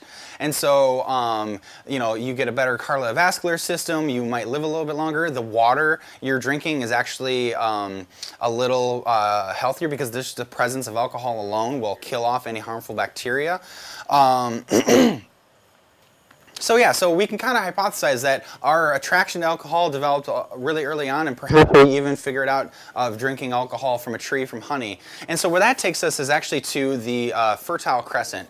Um, for millions of years, waves and waves of hominins and hominoids were go, uh, excuse me, we're going through the Middle East, through the Fertile Crescent, and uh, expanding around the world. We've even seen um, evidence of uh, uh, Homo erectus getting to the Philippines and such a long, long time ago. Um, and uh, relatively speaking, grain uh, or grass seeds um, is uh, a newer uh, evolution of uh, grass plants, but perhaps it was a little bit you know older. Um, we're still trying to figure out how old it really goes. But for the most part, during the uh, middle parts of the Ice Age and everything, when things went away or the glaciers retreated and everything, the Fertile Crescent was a really lush place. It's not really what it was today. Um, it's really there's been some severe desert desertification in the Middle East, but you know, uh, thousands and thousands of years ago, it was lush, green, full of forests and all of that. And so when our earliest ancestors, perhaps Australopithecines or Homo erectus or even Homo habilis um, or even uh, archaic Homo sapiens that then split into Neanderthals, Denisovians and all of that, um, perhaps they, uh, like other hunter-gatherers, were going to utilize every food source that they could find. And in Africa, they do have millet and other kind of grass seeds that we utilize for food. And so moving into a new area, we would practice what's called catchment uh, strategy, where you move around, you use, utilize the uh, resources in the area, and then you leave, you go here, and you might come back to it. Well, I think it's safe to say that earlier on we figured out that grains um, were a food source. They're full of uh, starches and uh, complex sugars and everything.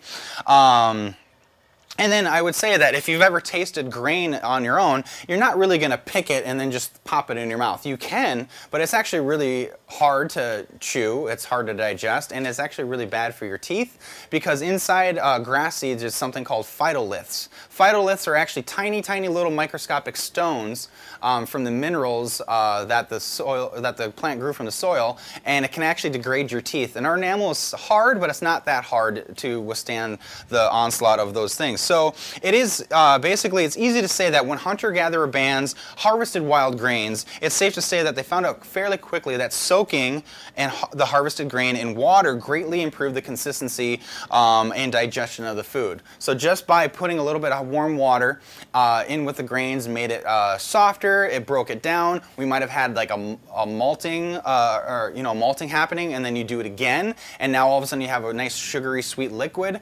Um, it's nutritious, it's broken down even more so you don't have to digest it as much. So once again more uh, energy going to your brain. And then if you let it sit out in a vessel um, or anywhere, uh, wild yeast is going to hit and then start fermenting it. And, and, I, and I, I think, and as well as some others, and we hypothesize that um, you know, that happened a lot earlier than uh, originally thought. Um, and so once again, uh, you know, as soon as you figured out that you could get the same kind of alcohol from grain and not have to search out for honey and only getting it one point in time of the year or so, um, all of a sudden you had a little bit more control. And the catchment strategy actually helped us domesticate grain because we would leave an area and then come back maybe the next year and then there's uh, grains uh, that were growing, you know, wheats and all that kind of stuff growing again and barleys.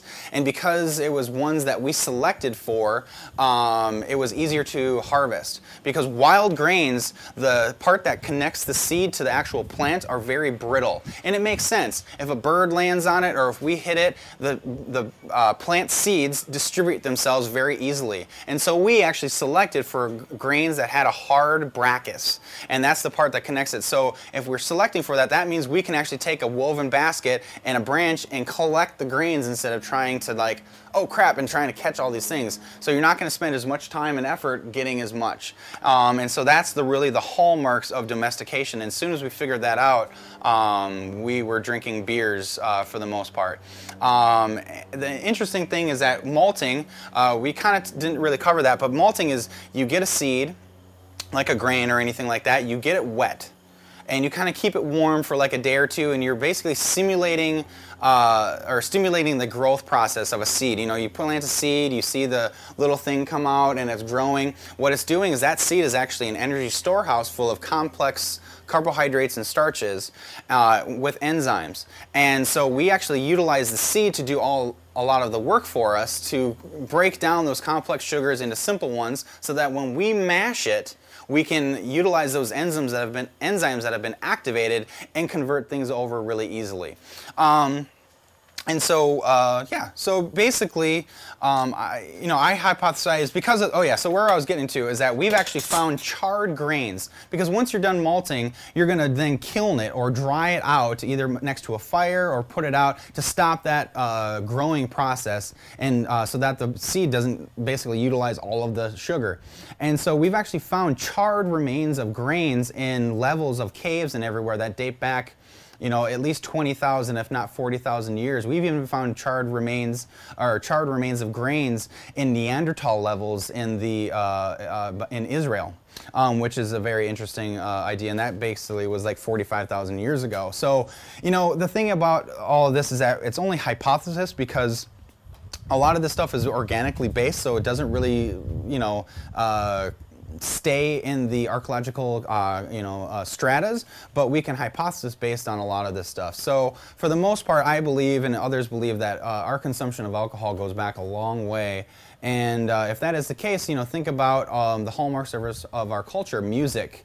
Um, and uh, you know um, uh, artwork and all these things that you know if anything just speech uh, you sit down next to a fire, and if you're consuming alcohol, it is a social lubricant, so you might be more inclined to talk to your neighbor, and that's when we might get bigger communities because of that communication. Um, the communication, in addition to hunting, is uh, improved because of just the consumption of alcohol. Um, and so you can start to see the, the hallmarks of our, uh, of our humanity coming out because of our, uh, use of beer. So that's where I'll end it today. Um, I will talk about this uh, in more detail uh, later on uh, in other episodes and stuff like that. But uh, I just wanted to give you a quick primer on uh, on all that kind of stuff. Yeah, that's that's really really cool, really interesting stuff. Um, and I know that when you do the the homebrew classes and stuff, that's one of the things that a lot of people take away. Is Yeah, it's, yeah. you know, it's stuff that you don't you don't think about. You know, it's like I, yeah, I like drinking beer, I like enjoying beer. Right. But man, I don't know why, and I don't know how that's kind of helped our culture. You know. Mhm. Develop. Yeah, and once you start putting everything kind of together, it just kind of makes sense. You Yeah, know, like yeah. yeah. Yeah, so I think uh, we're going to take another little break. Um, we have about 20 minutes left Perfect. in the boil. Um, so we're going to cut away to a, another video from Hop Stories. And um, it should be, we'll, we'll come back shortly. Yeah, So. stay tuned. All right, enjoy. I could be a beer. What style of beer would I be? Um, I'd be an Irish stout. I would be a Gose because it's kind of salty and kind of bitey, a little bit snarky, kind of like me. Probably a gose. I'm pretty salty, kind of bitter. Um, yeah, kind of give a lot of people heartburn. I would be a Gose because people can't pronounce it correctly. I'd be a foreign extra stout. Something sweet, you know, like something dark, something roasty, but not as bitter as you would think. I think I would be a slightly sour, mature, barrel aged, pretty mild, dark, smooth beer. it's kind of my personality, I think. If I were a beer, I would definitely be some sort of foraged uh, wild sage and western red cedar red ale. An arrogant bastard. see, probably an, Ir- Ir- probably an Irish red ale. Irish, I got a little heft, a little sweet, malty, uh, not not too bitter, you know, but just a little. Be like a suicide of uh, a bunch of beers blended up together, like suicide no diet, a little bit of everything. Drink it up. oh man, probably be a little fruity. Um, no, I'd be a Belgian quad. like an American light lager or something, because like I have like very little body to me, right?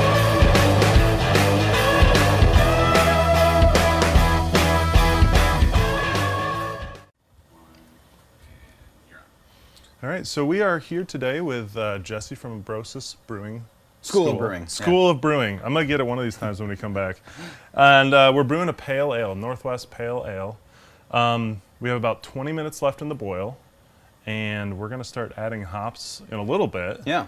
Um, and before we do that, um, I'm gonna let Jesse kind of fill you in on some more specs about the beer, and we'll we'll kind of keep going. Yeah, This is it's yeah. a live show, so this is the first time we've ever done this, and man, I'm having a blast. Yeah, no, this is great. I'm having a great time. All right. So what what's what's coming up next? uh, excuse me. So uh, yeah, so uh, in about a f- five minutes or so, I'm going to add our uh, uh, Whirlfloc tablet. And that is our uh, fining agent. Uh, uh, Whirlfloc tablets are basically the tab- tabletized form of Irish moss. And Irish moss is neither Irish nor a moss. It's actually a seaweed found on the ocean floor.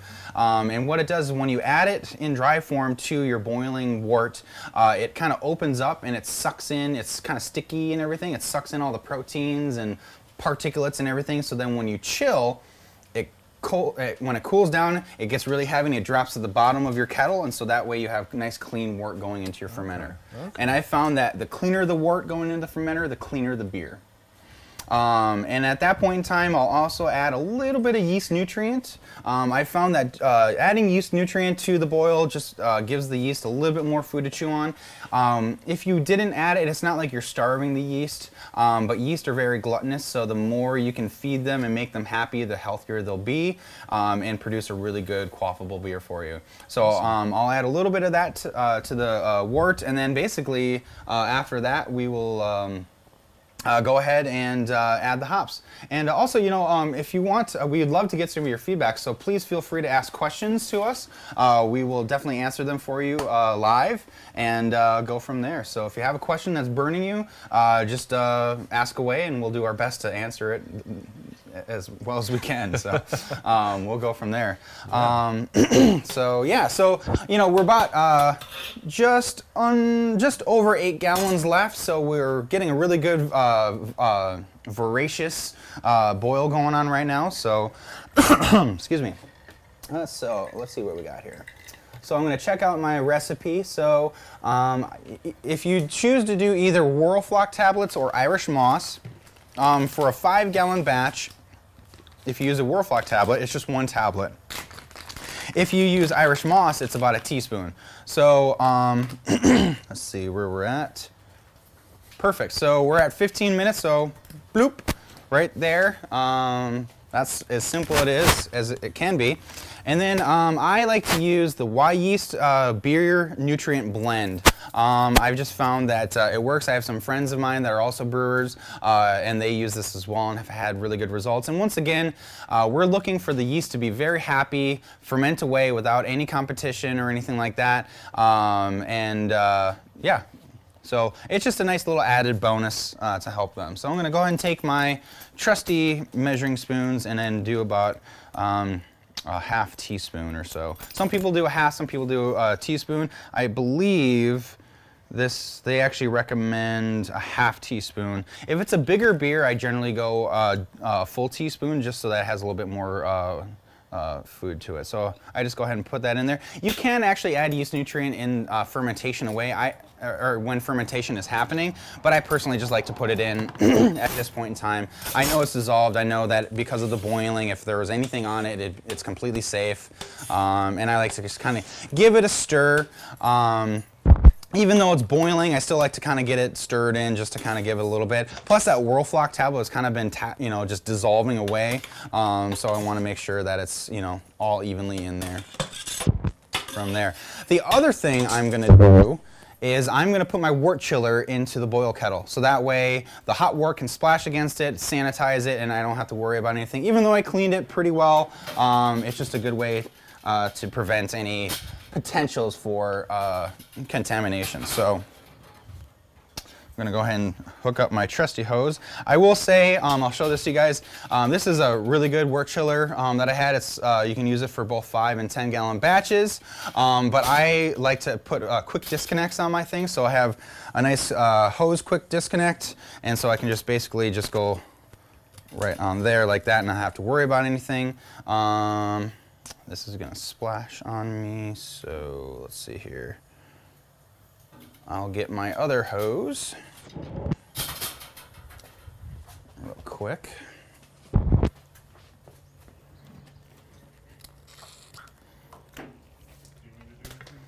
Uh, no. Just keep looking pretty. Great.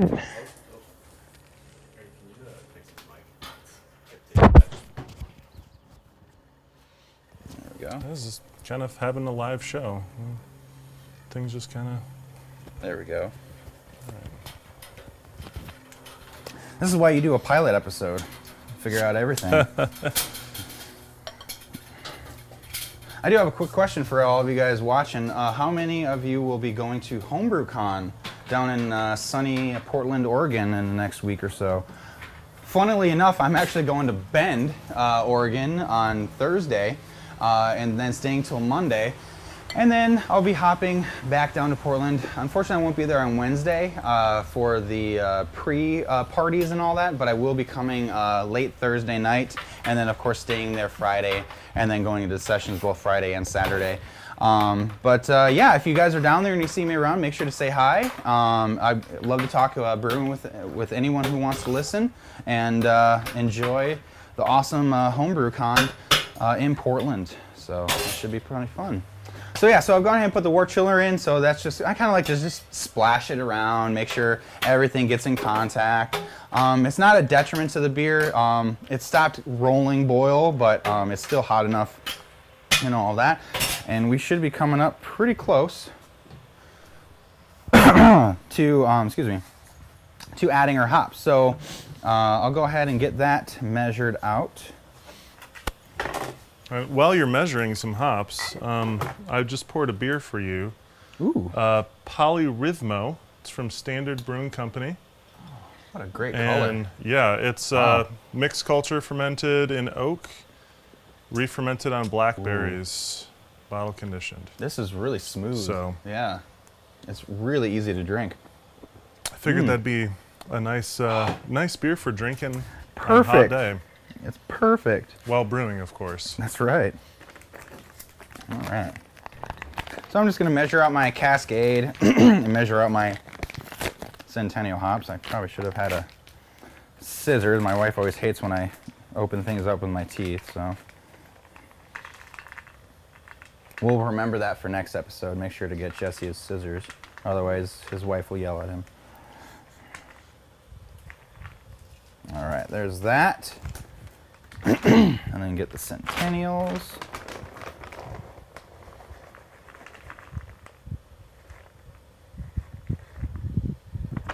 All right.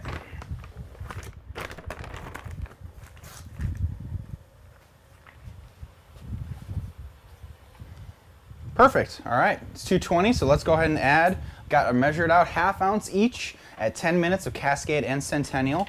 And once, I, once again, we're trying to shoot for about 40 IBUs. Um, so the next top addition is going to be an ounce of each at flame out. Still going to give us a good amount of IBUs, but uh, 40 is a pretty good number when it comes to a pale ale. You can go a little lower, a little higher, depending on the hop type. But like I said before, you know, think about the quality or the uh, of what your hops actually will be bringing to the table. If they're very uh, voracious and uh, big in flavor and bitterness, maybe dial back. Um, a really good IPA uh, here in the Seattle area is Reuben's Crikey IPA. And uh, that's an IPA that's actually only 50 IBUs, but it tastes a lot more than that because I think the hops they choose just have a little bit bigger punch to them. So they don't need that IBU uh, backbone to really make it an IPA uh, with those specific hops. All right, so I'm just going to go ahead and get this ready because sometimes I can forget. Um, I'm just going to go ahead and get my hops uh, uh, uh, measured out now.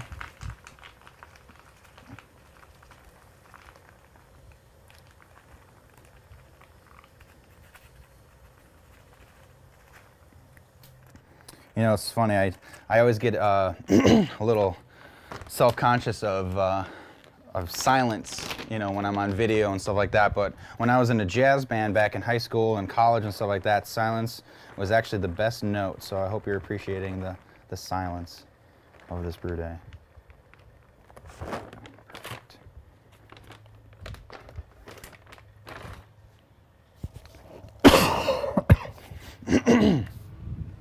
All right, so that's all weighed out, ready to go for the end of the boil.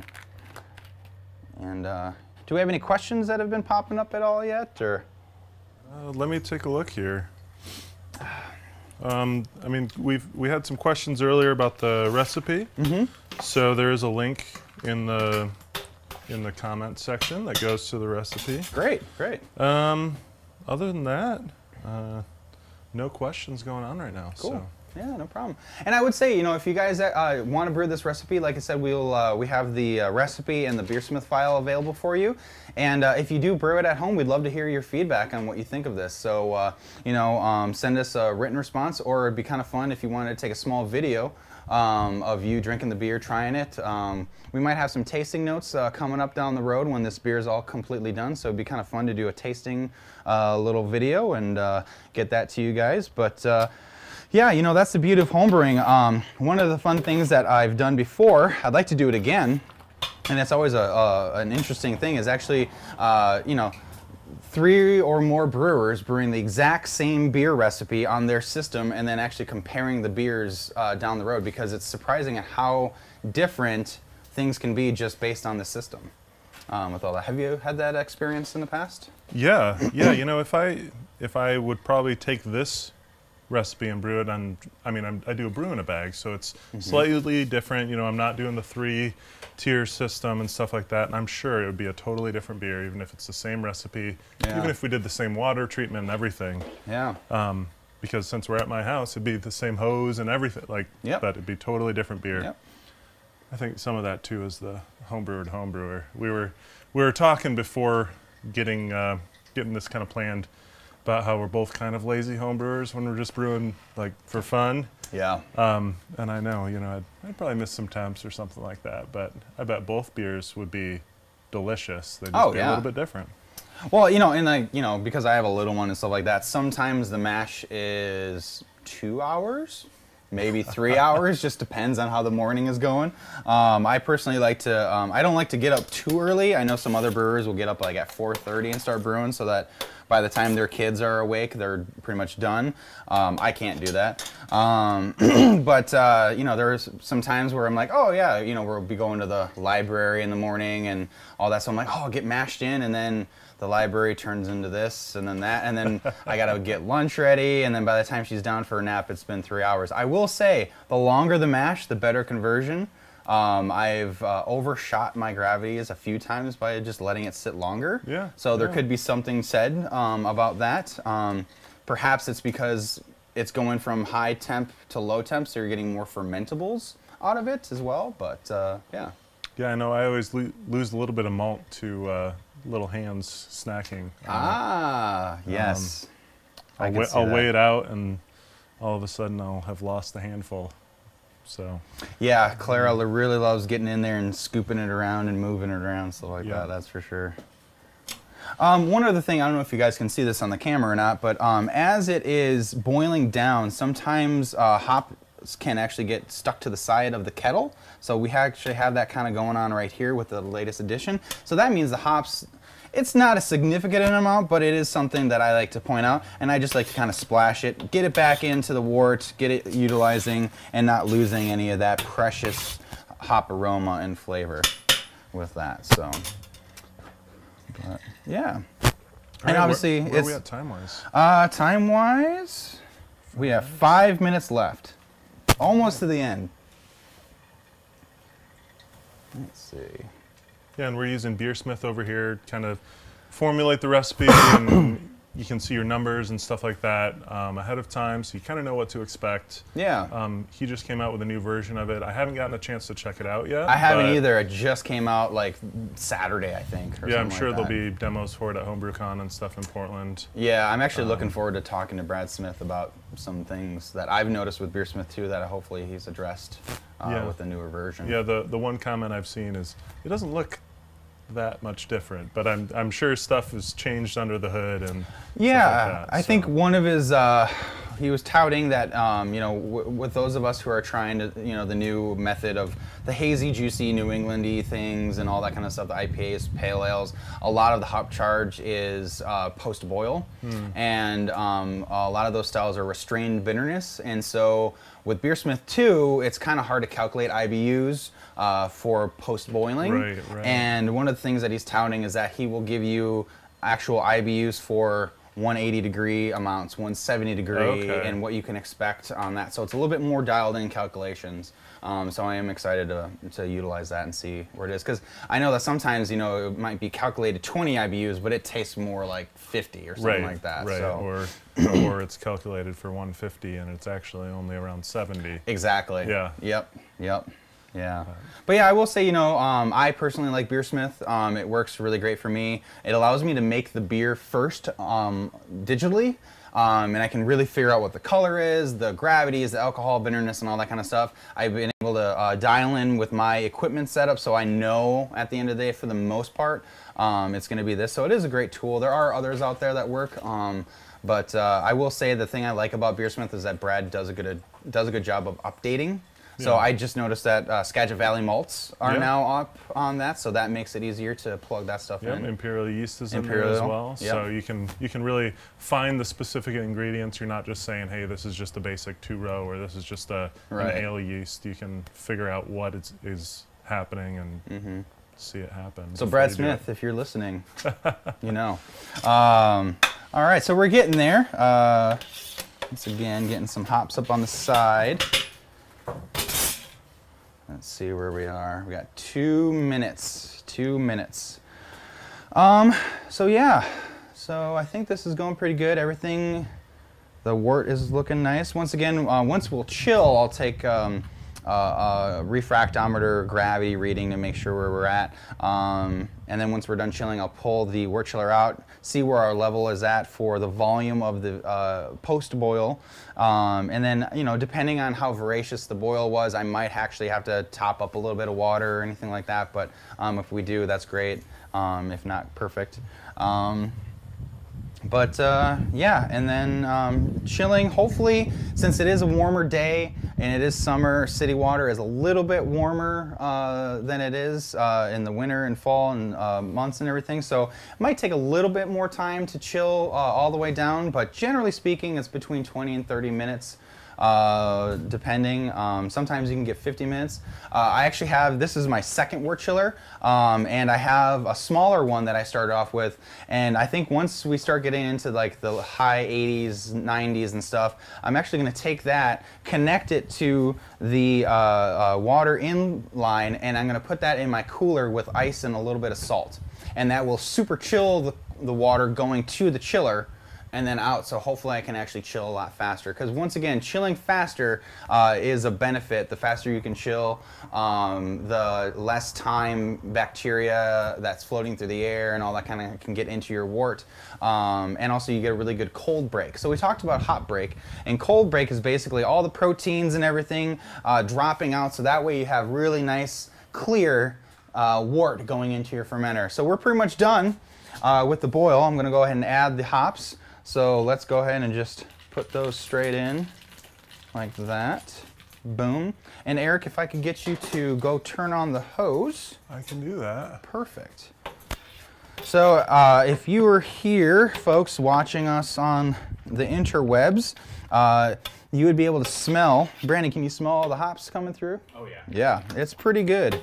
Um, and so once again, um, if we wanted to infuse even more hop aroma, we would actually chill to 180 degrees, hit it with another batch. But this is just standard pale ale. We don't want it to be overly uh, hop flavored, overly aromatic or aromatic. Um, we just want a really nice, simple pale ale that has the hallmarks of uh, the West Coast style. the other thing I really like about this um, brew kettle is with an immersion chiller, this lid has a little attachment where I can cover and go like that. So um, I'm just gonna leave it like that. Uh, from time to time, um, I will uh, kind of lift the chiller up and down. And what that does is that you can actually get an insulated uh, heat insulation on the chiller. so we're chilling with uh, heat exchange. So we're sending cold water in through the coil, circulating around, and then it's going to be taking the heat from the uh, wort and then expelling it out the back. Well, what happens is that you can actually get a, a small film of super cooled wort around the coils themselves, and it can actually trap uh, and insulate against the heat exchange. So by moving the chiller uh, from time to time, you're getting rid of that heat or that insulating uh, water blanket on the coils, and you actually will chill a lot faster from time to time. Wow, it's good, So- to, good to know. Little Yeah. tips and tricks, right? That's right. Figure it out as you go. So this should take about uh, you know 20 minutes or so. I'm guessing. I'm already down to 190.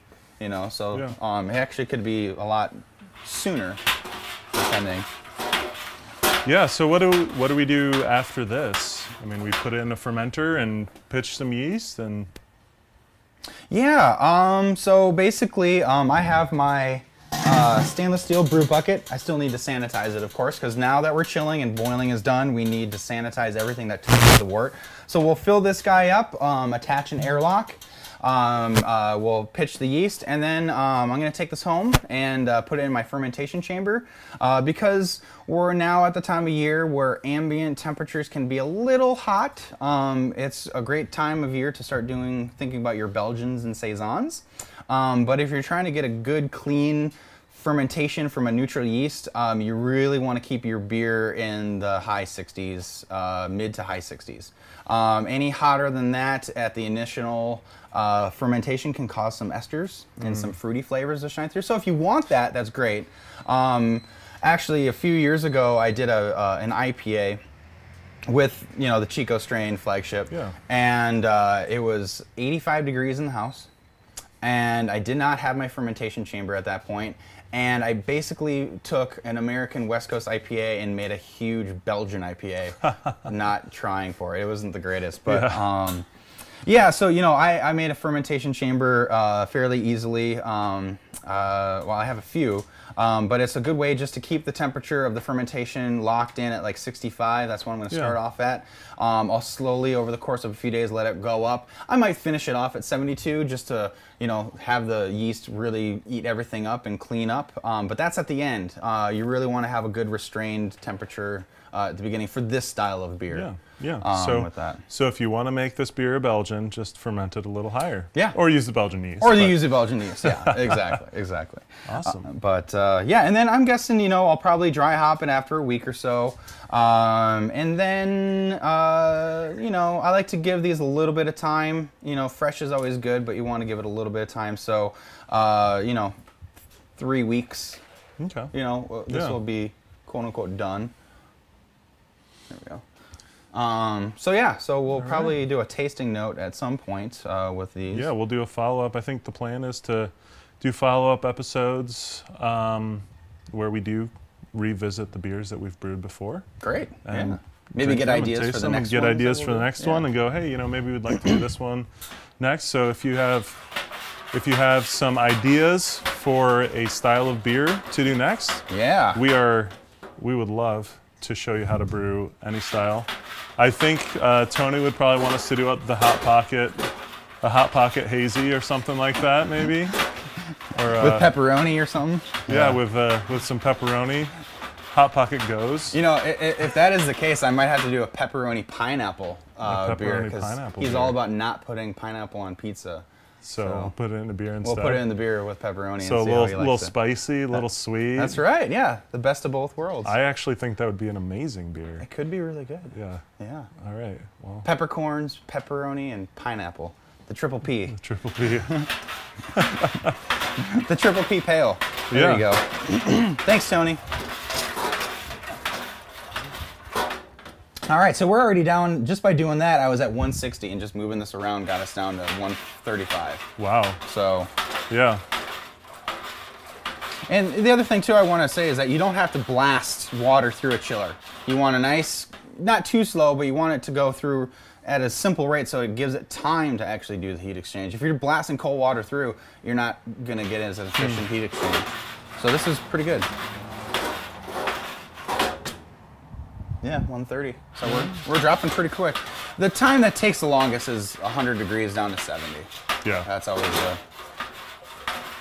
the time on that one. Yeah, a lot of times what I do is I uh, pre-boil some water and then freeze it, and add Oh, frozen that's a good frozen water to top off to my volume. Yeah, I like that. And then it kind of chills it a little bit quicker, and because my my chiller's a little little smaller than yours, but Yeah, I got this one specifically because I like to do 10 gallon batches, Right, yeah. um, which is fun if you want to do this. Uh, uh, the option of a 10 gallon is fun because, you know, for example, I put in uh, beers to competitions and stuff like that. Right. So it's good to do five, split it into two different yeasts, maybe dry hop one to the other, play with different uh, ingredients and all different that kind of fermentation temperatures. Yeah, and- yeah, yeah, So it's it's kind of fun to do all that kind of stuff. So That's part of the fun of the hobby, though, right? That's To- right. To play around and You can get- do whatever get a you want. Creative and yeah, yeah. yeah. Yeah, sure. We Yeah. could we could uh, we got a couple minutes here, so we'll show uh, another Hop Stories video, um, and when we come back, we'll be pretty much done and ready to. This might be gone too. Put it in the fermenter. All right, we'll see you in a little bit. On brew day? Oh, brew day? Oh, at, at that we play at the brewery. Oh, what music? Oh, Grateful Dead almost exclusively. Tribe Called Quest, all day. Tom Petty Radio. 80s and 90s pop songs. They're Madonna really loudly. If you're brewing, you need something that just like puts a smile on your face, like lovely day. You know, like typically something that's very upbeat. A lot of hip hop.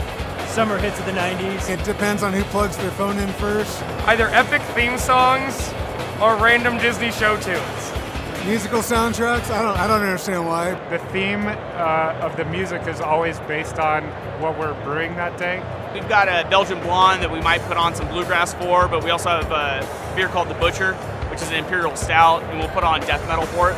If you, if you want like a slow fermentation, you play the Beethoven, the slow stuff, and then if you want like, you know, you throw on that pop, the oomph, oomph, the EDM music for the really high ABV stuff. Definitely works. The yeast really uh, absorbs those like reggae vibes and uh, really helps them like give a nice smooth beer.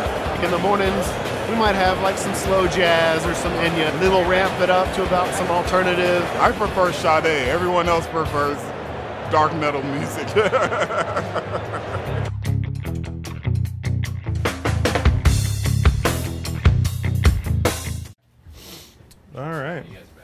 Hello. So Jesse was uh, cleaning out the fermenter, just so we have a nice, nice house for the yeast to to kind of live in while they're chewing up some of this beer. And we were talking a little bit about what what the next steps are. So just to kind of fill you guys in, we, we are brewing a pale ale today, just a Northwest pale ale. Uh, we are chilling, so we did a mash, we did a boil, and now we're just letting it get down to temperature so that the yeast won't just burn up. yeah. The worst thing you can do is put fresh yeast into a really, really hot wort. Yeah. Before it has a chance. Yeah, so talk about what you're doing, what you're doing right now to kind of sanitize. Yeah, yeah. So this is um, this is a stainless steel fermenter bucket uh, that I got at uh, Micro Homebrew. Um, I used both plastic uh, buckets um, and then uh, glass carboys, um, but I like the uh, I saved and I was able to get the stainless steel because it's a little bit easier to uh, clean.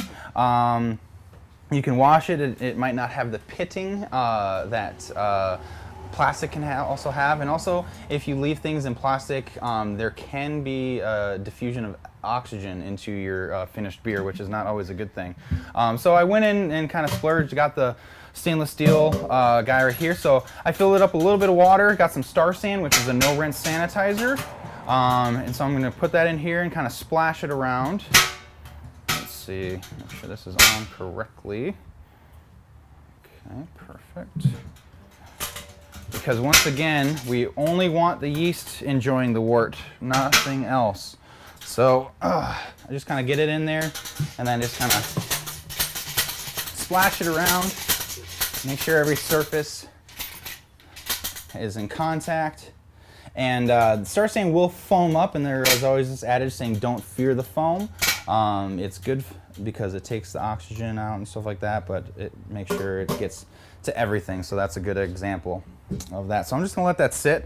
Uh, I have my airlock that will uh, put sanitizer in, and uh, put that in the the little guy right there. Um, once this is chilled, uh, looks like we're at 115. So I'm gonna bounce this around. And like I said, I'm gonna uh, ferment this at about 65 degrees for the first week or so. Uh, first, you know, five to seven days. And then depending on where it's at, I'll probably let it ramp up to like 68, 70 degrees. Um, kind of finish off, do what's called a diacetyl rest. If diacetyl was produced by the yeast, um, by letting it warm up, the yeast will actually eat um, that diacetyl and clean it up for you. So the best thing you can do is just have patience and time. The yeast will work for you. Otherwise, if you don't give it patience, then you have to do extra work to take all the stuff that it would have already done for you. Um, so uh, after letting it rise up and sitting there for a day or two, I'll then go ahead and cold crash it um, and get it down to about 40 degrees. Uh, and that will basically make the dry hops I've added and any other stuff uh, the yeast or any other stuff floating around get really cold and drop out and my beer will get really clear. Um, cold crashing is a really good uh, method of doing that with any kind of beer. Um, if I was gonna make this a lager, it's still a cold crash, but then I would just let the beer sit uh, and lager uh, for a few weeks uh, to a few months, uh, right around 34 degrees or so, depending. And then it'll be ready to drink. Um, let's see. Yeah, so that's uh, 95 degrees. So we're getting there. Like that. Um, I actually was able to kind of do a test batch of this beer um, a few weeks ago, uh, and uh, I, we cha- I changed a few things up with it, but it's pretty pretty close. So I do have a bottle of uh, uh, for us to try at some point uh, uh, before we close out with you guys, um, and give you a tasting notes. I'm not sure if it's carbonated all the way, but um, we'll we will see. But it's pretty good. Let's see. Yeah, so you know we're still right around 92, so it's going to take a little bit more time. This is always the longest part of getting down to try to get down to 75. Um, now, if I wanted to uh, not pitch the yeast, which we will show you pitching the yeast, and uh, I also brought my oxygenation stone and tank to kind of show you that. Um, like I said, you could always you know just make sure you're getting a lot of suds and uh, aerating. There are some people that go back and forth from bucket to bucket that works. Um, but i just like the simplicity and ease of the oxygen tank and stone 30 to 60 seconds of pure oxygen in there and uh, what pure oxygen or what oxygen does for yeast in general is it allows the yeast to actually develop a really thick membrane um, this is really important for high gravity beers because that osmotic pressure from the sugary uh, environment uh, can be stressful to the yeast and actually break some of their membranes. So if you give them enough oxygen, it gives them a good defense to start eating away uh, and not stressing out. So um, I just like to do it in general because healthy yeast is really good. Plus, I'm probably actually going to be uh, utilizing this yeast cake again for the next beer.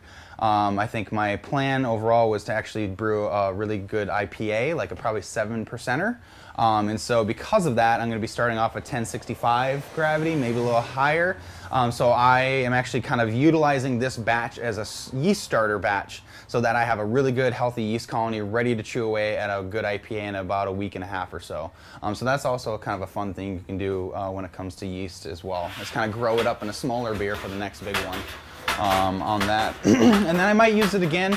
Uh, I've been kind of hankering for a barley wine. I haven't made one in a long time, um, and I have a lot of hops uh, at home that are kind of been uh, they're older and kind of been sitting in my uh, freezer for a long time, and so I kind of want to do like a you know uh, a big barley wine with all these different hops in it and just see what happens, um, which is kind of a fun thing to do. Um, clean and shop, basically.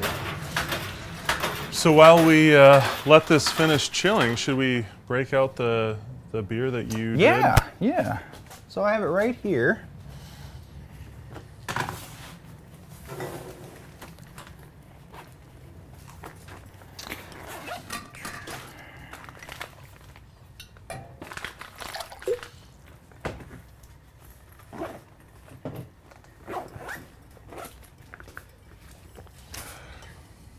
There, not waste.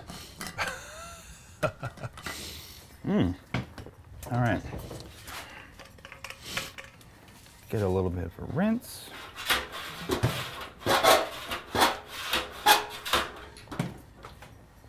All right.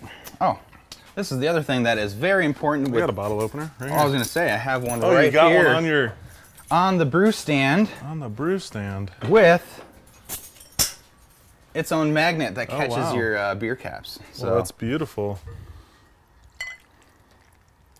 All right, that's good for me. Want something? You got a glass? Sure, yeah, I'll finish this. All right. So this is fairly young. It's only about two weeks old. So, but um, has really good clarity on it. Uh, good nose. What, are you, Mhm. what are you thinking on this one? Yeah, I definitely can smell the Cascade and Centennial on it. Still kind of has a green flavor to it, but It does, but that, that's that's a nice greenness. Like Yeah. I've had some beers that are just like, ah, like burns your tongue as you drink it. Mm-hmm. Mm-hmm. It's very pleasant. Uh, you know, it, this will this will mature in another week or so. Yeah. I got the keg, you know, over at uh, Flying Bike, um, and uh, you know, I'm guessing in about a week and a half, two weeks, this will mellow. The malt will kind of come through a little bit. That greenness will die off, Mhm. and then uh, you know, it's already a really good tasting beer. It's- it's- yeah, it just yeah, it's a good better. ale. It's it's a beer that I'd I'd have a, a couple of definitely. And as you can see, it's a little dark, but the pale ale has a wide range of color. Like you can, you know, think of like Dale's Pale Ale. That's a really dark pale ale. Um, utilizes a lot of uh, darker caramel malts. Yeah, it. yeah. Um, and then uh, yeah, but uh, It's you know it's it's kind of the thing I, like I really like, and I get this with uh, Sierra Nevada is that Cascade it just has a really good refreshingness to it. Mm. You know, um, it kind of even though it's hot out, it kind of cools you off a little bit. It does. You know? It does definitely. Yeah. Yeah. But yeah, and that's why I used Horizon because you can kind of taste the Cascade bitterness. It's got that little kind of residual bite to it, Mhm. um, and uh, you know um, sometimes if you use a uh, bittering hop that has even more bite, it can kind of be a little, little much. Okay. Yeah. know? So the Horizon's just kind of a mellow, Yeah. bittering hop. Gives you the bitterness without the, the bite. Exactly. Yep. Yeah. Yeah. Yeah. Yeah. Well, I can't wait to see what this one I know. turns out like too. I know. And if you're if you're planning on brewing this recipe, let us know how it works for you. Um, we'd love to hear. All right, we're down to 80, so we're getting close. Getting close.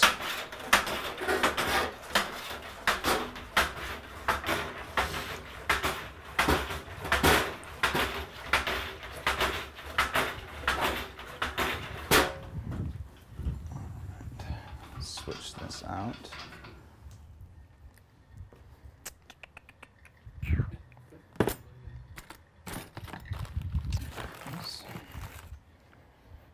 Okay, I'm just swapping out the nipple that I had on my uh, uh, whatchamacallit thing here. Um, because when I go from the mash tun, it's the same barb, so I want to be able to use the same hose. Uh, and then I go to the bigger one right here. So, but because we're already chilled, I want to make sure that I sanitize it and put it on there. So then we're still safe and good.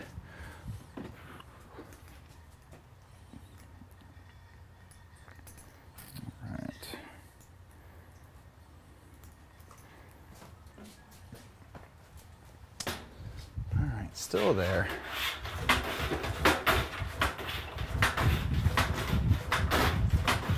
So this is the type of or time of the brew day when things start winding down. You've been brewing for a while. You might have had a beer or two, and things are just kind of nice and easy going. You know, no need to rush. Just kind of relax. Yeah. There's no no fire going anymore. That's right. Yeah. now we have a little bit of a breeze. Yeah, breeze really has picked nice. up. Yeah.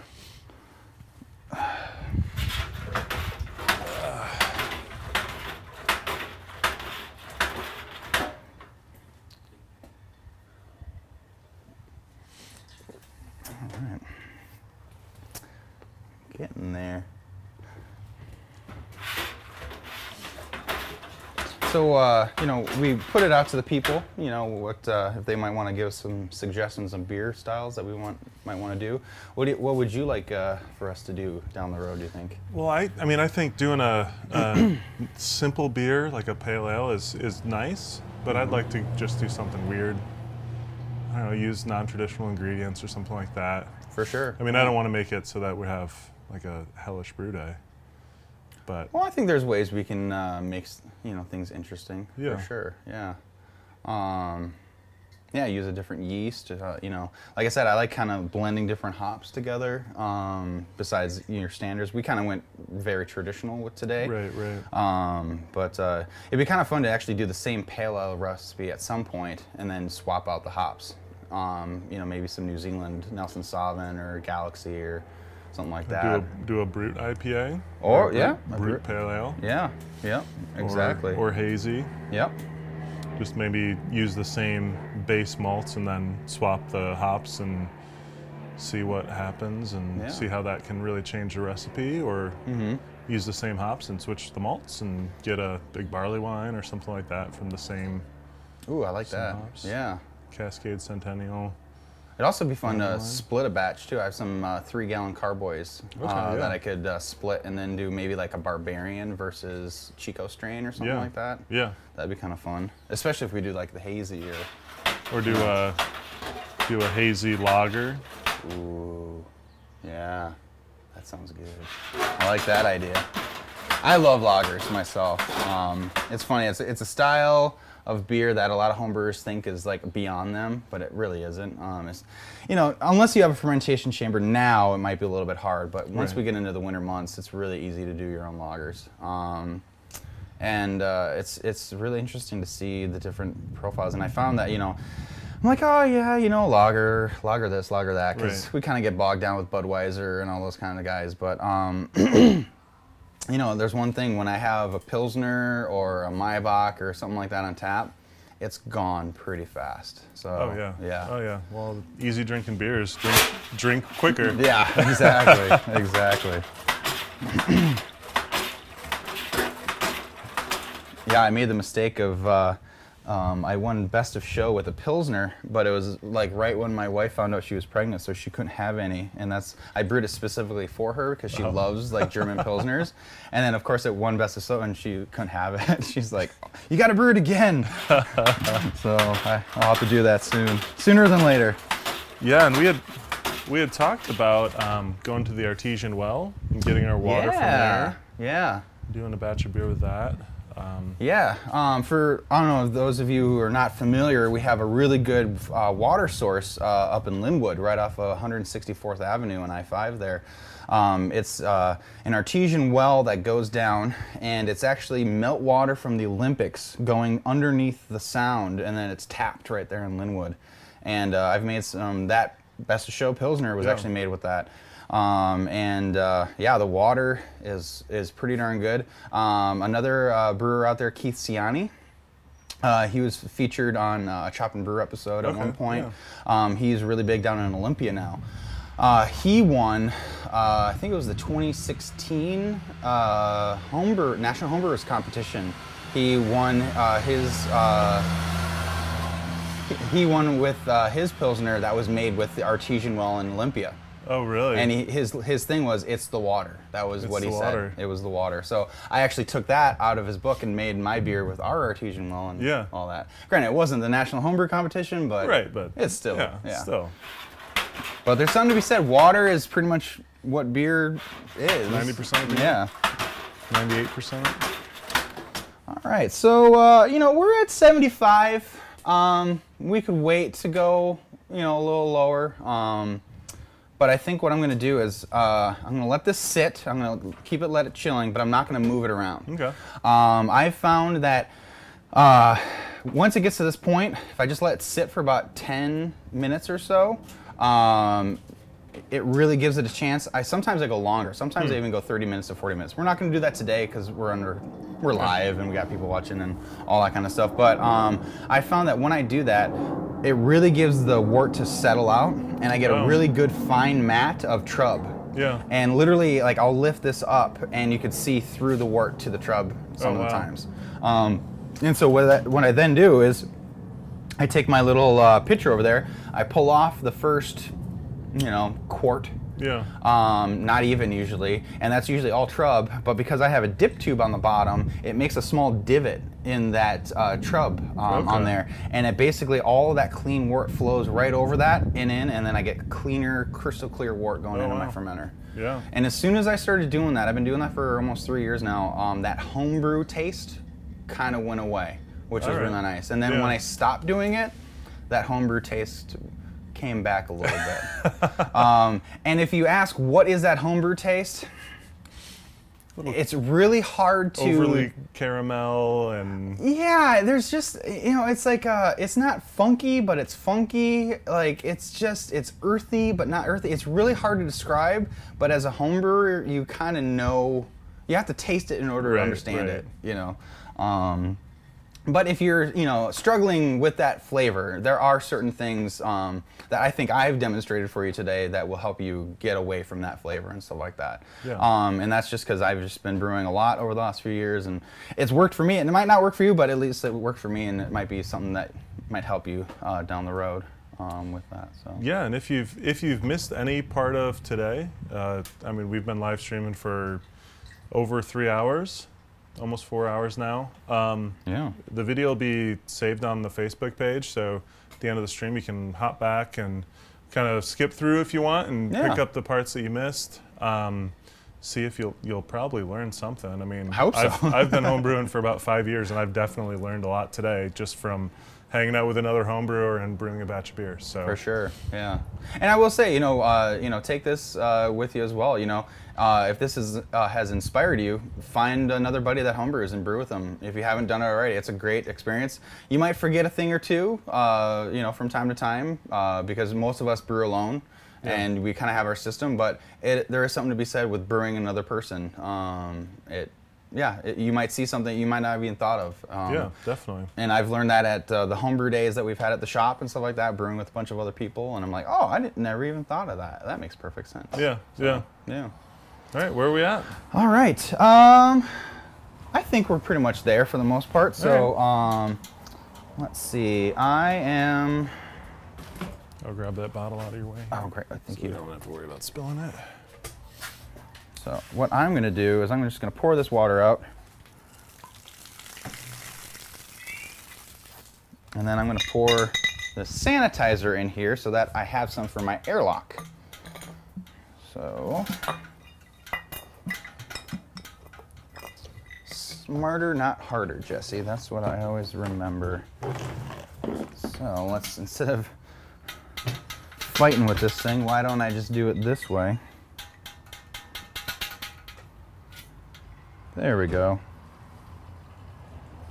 I will say that is the nice thing about these uh, fermenters is that they do have a valve on them. So when it comes to transferring your beer, it makes life a lot easier. Okay, so we got my sanitizer right there. I'm gonna go ahead and just uh, splash this up again and then we'll pour it out. And this would be the same thing if you're, you know, if you have, uh, oops, don't want the stopper the there. Um, if you had a plastic bucket or even a carboy, um, plastic or uh, glass, you know, just get the sanitizer, splash it around. Go. I'm just gonna pour this right out here. Whoop.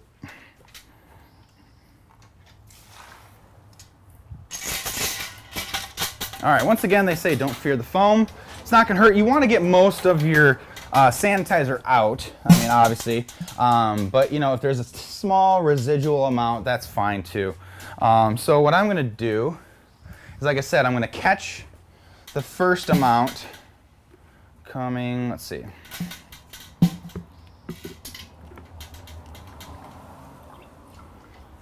So then until it starts running clear, that's pretty good. There we go. The other thing too is, uh, like I said, with the your pots, uh, make sure your valve is closed on your fermenter um, if you have one, because you don't want it running out all over the floor after all of that hard work. Um, okay, so let's take a reading. Got the trusty refractometer here, and just splash. It's all you need.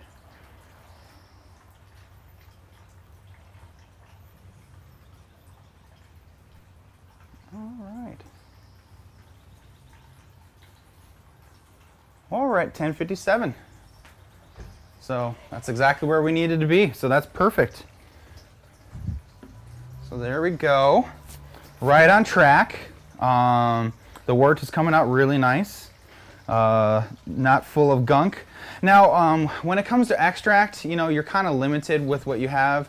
I always say if you can, after chilling, siphon the beer out of your uh, uh, your boil kettle and try to leave as much of the trub behind as you can. Um, I found yes, a little bit of trub is okay, and they say it's you know food for the yeast and all that. But honestly, there's enough food in the beer or the wort already. Um, and you know the hops and the grain material and the proteins can lead to off flavors, maybe that home brew taste. Um, so you know, trying to leave as much of that behind is just going to result like I said, a cleaner wort, clean wort means clean beer uh, for the most part. So, um, yeah. And then we'll go ahead and open this up. So, uh, if you want to take a look on camera, this is essentially what the wort is like. You can see it's kind of frothed up a little bit, but it's really clear on top there. Um, if I was to take my spoon, which I'm not going to because it's not sanitary anymore, um, you could actually see the wort is really nice and crystal clear um, with that. So, um, relatively speaking, you know, that was a pretty good chill time. Um, you know, yeah, I think this has uh, been a pretty good brew day so far. Um, I'm really excited for this beer. Um, so yeah, so uh, with the valve open, with the higher uh, uh, gauge nipple, it's coming up pretty fast, so um, it's doing a good job at uh, draining. And then we'll be able to oxygenate and then uh, Could you start oxygenating right now? I could, yeah. Um, yeah. So let's see what I got. Or is there any benefit to doing it earlier rather than later or anything like that? So I mean, I typically uh, do it once I have my levels. Um, I have noticed at Flying Bike that Kevin uh, will start oxygenating when he's about halfway to two thirds of the way uh, filled in his fermenter. So he doesn't do it right from the get go, Yeah. but he'll start oxygenating. Um, you know, fairly towards the end as he's pumping the wort in. Hmm. He already has the yeast in there and all that kind of stuff. So I will say, as a home brewer now working at a professional brewery, it's really interesting to see the commonalities of brewing in general. But there are some different things, you Yeah. know, from pro or from home brew to pro brew. Um, but uh, yeah, so I just, you know, this is your standard uh, one uh, pound oxygen tank, and then I have a regulator with diffusion stone, and then I just kind of go right in there, and then um, it's kind of harder to see because it's foamy, um, but I just turn it on, and I don't go full bore. Um, I just, you know, because if you go full bore and it's, uh, you know, obviously bubbling up a lot, well, you're bubbling oxygen out of your wort. So if you just do a nice steady amount um, for, you know, 30 seconds to a minute, not even, um, that's all you need.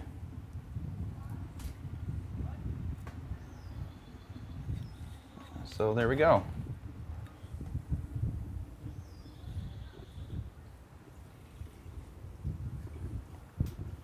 And there's still a little bit of oxygen in the line coming out of the diffusion stone, so I'm just going to rinse that off into the wort.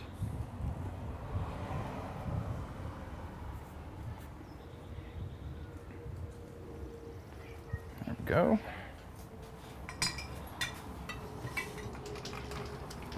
Uh, the one thing I will say is that if you have a diffusion stone, don't touch the stone.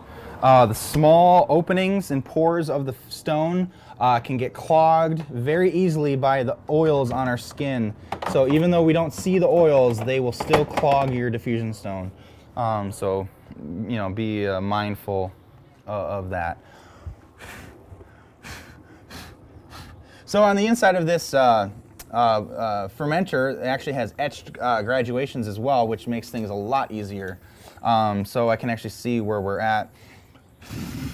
Uh, looks like we're about four gallons, so we want to get up to about five and a half. So, but I think we're go pretty good um, in here. The other thing I also noticed is that leaving the chiller in there kind of uh, creates a dam for the trub, um, and so you know it will uh, get you better extraction. Yeah. So you have less loss. But ca- you know, calculate for your loss. You'll you'll figure it out after a few batches. But as long as you have a good calculation, then your gravities will be on point. Um, you'll have the right IBUs, and you won't have a loss of uh, uh, of overall wort that you could get. Um, you know, yeah. But see that really good mat I do see of uh, of Trub in there. That's nice. That's all I can do to not. Yeah, right? I'm just like, ah. So cool. Yeah, I found the dip tube is just a really. I've done like you know the bazooka screen in the boil kettle. Usually you do it in a mash tun. I've done that, but it usually gets clogged up, and it's just. It still pulls. I, for some reason, the dip tube and letting it settle just always. I mean, this wort coming out is just crystal clear. Right. Um, which is perfect.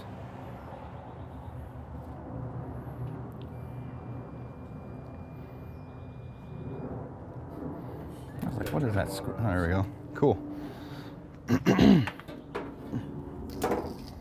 All right, so, and then of course today we're using Imperial's flagship. I'm gonna get that just out and ready.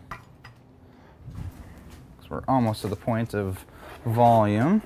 Um, I am digging their new packaging. Um, you know, people had problems with the the cans and all that kind of stuff. I figured it, you know, you just don't shake it. And then I would always have like a, a fork or something like that and sanitizer ready to scrape off the bottom. But the new packaging is a is a plus. Um, you don't have to worry about it potentially foaming up on you or blowing up in your face, which I never had it blow up in my face. But um, the people over Imperial are really have been really gracious uh, to me personally. Um, and uh, they also um, sponsor my classes from time to time. I did an IPA class at the end of uh, April, and they sponsored all of the yeast. And I made six batches of beer um, for that class, and uh, they gave me the yeast for not only those beers, but also the beer that we brewed. And uh, they'll probably also be uh, helping me out down the road this fall when I start uh, up my classes again. So stay tuned for the Brosa School of Brewing. Um, I should have a schedule within the next, I'm hoping, week or so. Um, I just got to talk to uh, Cairn Brewing where I do the classes and uh, see what works for them. Uh, they've been very gracious to me. Those are great guys. They just got uh, five medals at the Washington Beer Festival. Um, uh, Bill did. So uh, if you haven't checked them out, they're a great little brewery in the Kenmore area. Um,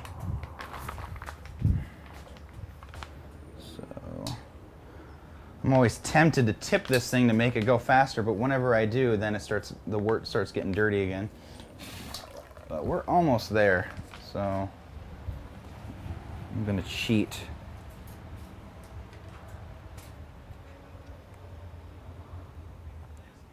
But I'd say that overall this has been a very successful brew day. We hit all of our numbers perfectly, um, which, you know, if you're a home brewer, you know that sometimes this doesn't always happen.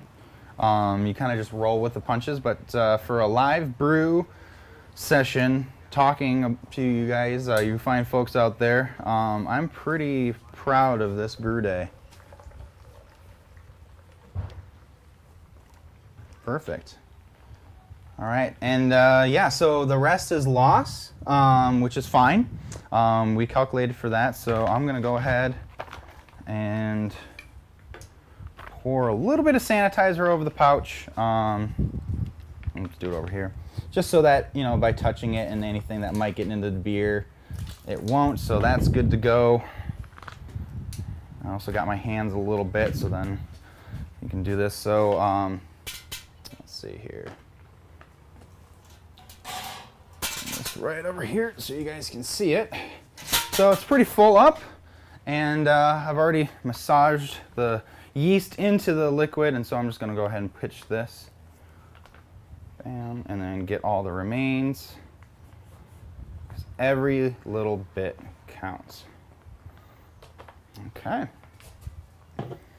Attach the top.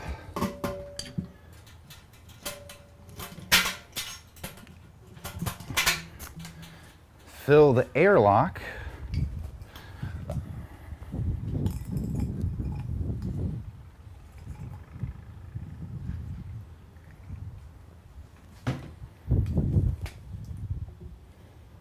And we're done. So that's the brew day right there. Uh, this is ready to go into uh, f- uh, fermentation chamber, or if you don't have one, you got a cool place around the house, closet somewhere that stays in the mid 60s, perfect. Um, but uh, yeah, this is ready to become beer. The yeast is going to get to work, and uh, we'll be enjoying this in a few weeks. So- Yeah. So, uh, thanks for tuning in to our inaugural episode, our pilot episode of LiveBrew.tv uh, from Hopstories. We're going to be trying to do one of these about once a month, and uh, we'll see. You know what, what recipes we end up doing next. If again, if you have a suggestion or you'd like to see something, if you'd like to learn how to do a certain technique in homebrewing or a certain way to do it, um, we're always happy to include that in some of our next episodes. You know, whether it's how to get into homebrewing, how to how to shop at a homebrew store. Oh, yeah, yeah, absolutely. uh, How to build a recipe, stuff like that. We'd love we'd love to share that information with you guys. So make sure to check out Abrosis School of Homebrewing. School of Brewing. School of Brewing. Abrosa School of Brewing on Facebook. Uh, we'll make sure we tag everyone that's been involved today. Uh, Imperial Yeast, Yak, uh, Yakima Valley Hops. Did Yeah, you get some Yakima hops from Valley there? hops, Um, and then Skagit Valley malting with the malt. Uh, and we are going to be doing this again soon. Yeah. So Stay next tuned. next time we'll make sure to to let everyone know a little bit ahead of time. Uh, this one was very much trying to figure it out. So that's it for today for livebrew.tv. And let us know what you want to see next time, Yeah. and we'll get it going. And we'll see you at HomebrewCon. Yeah. So thanks a lot. Cheers.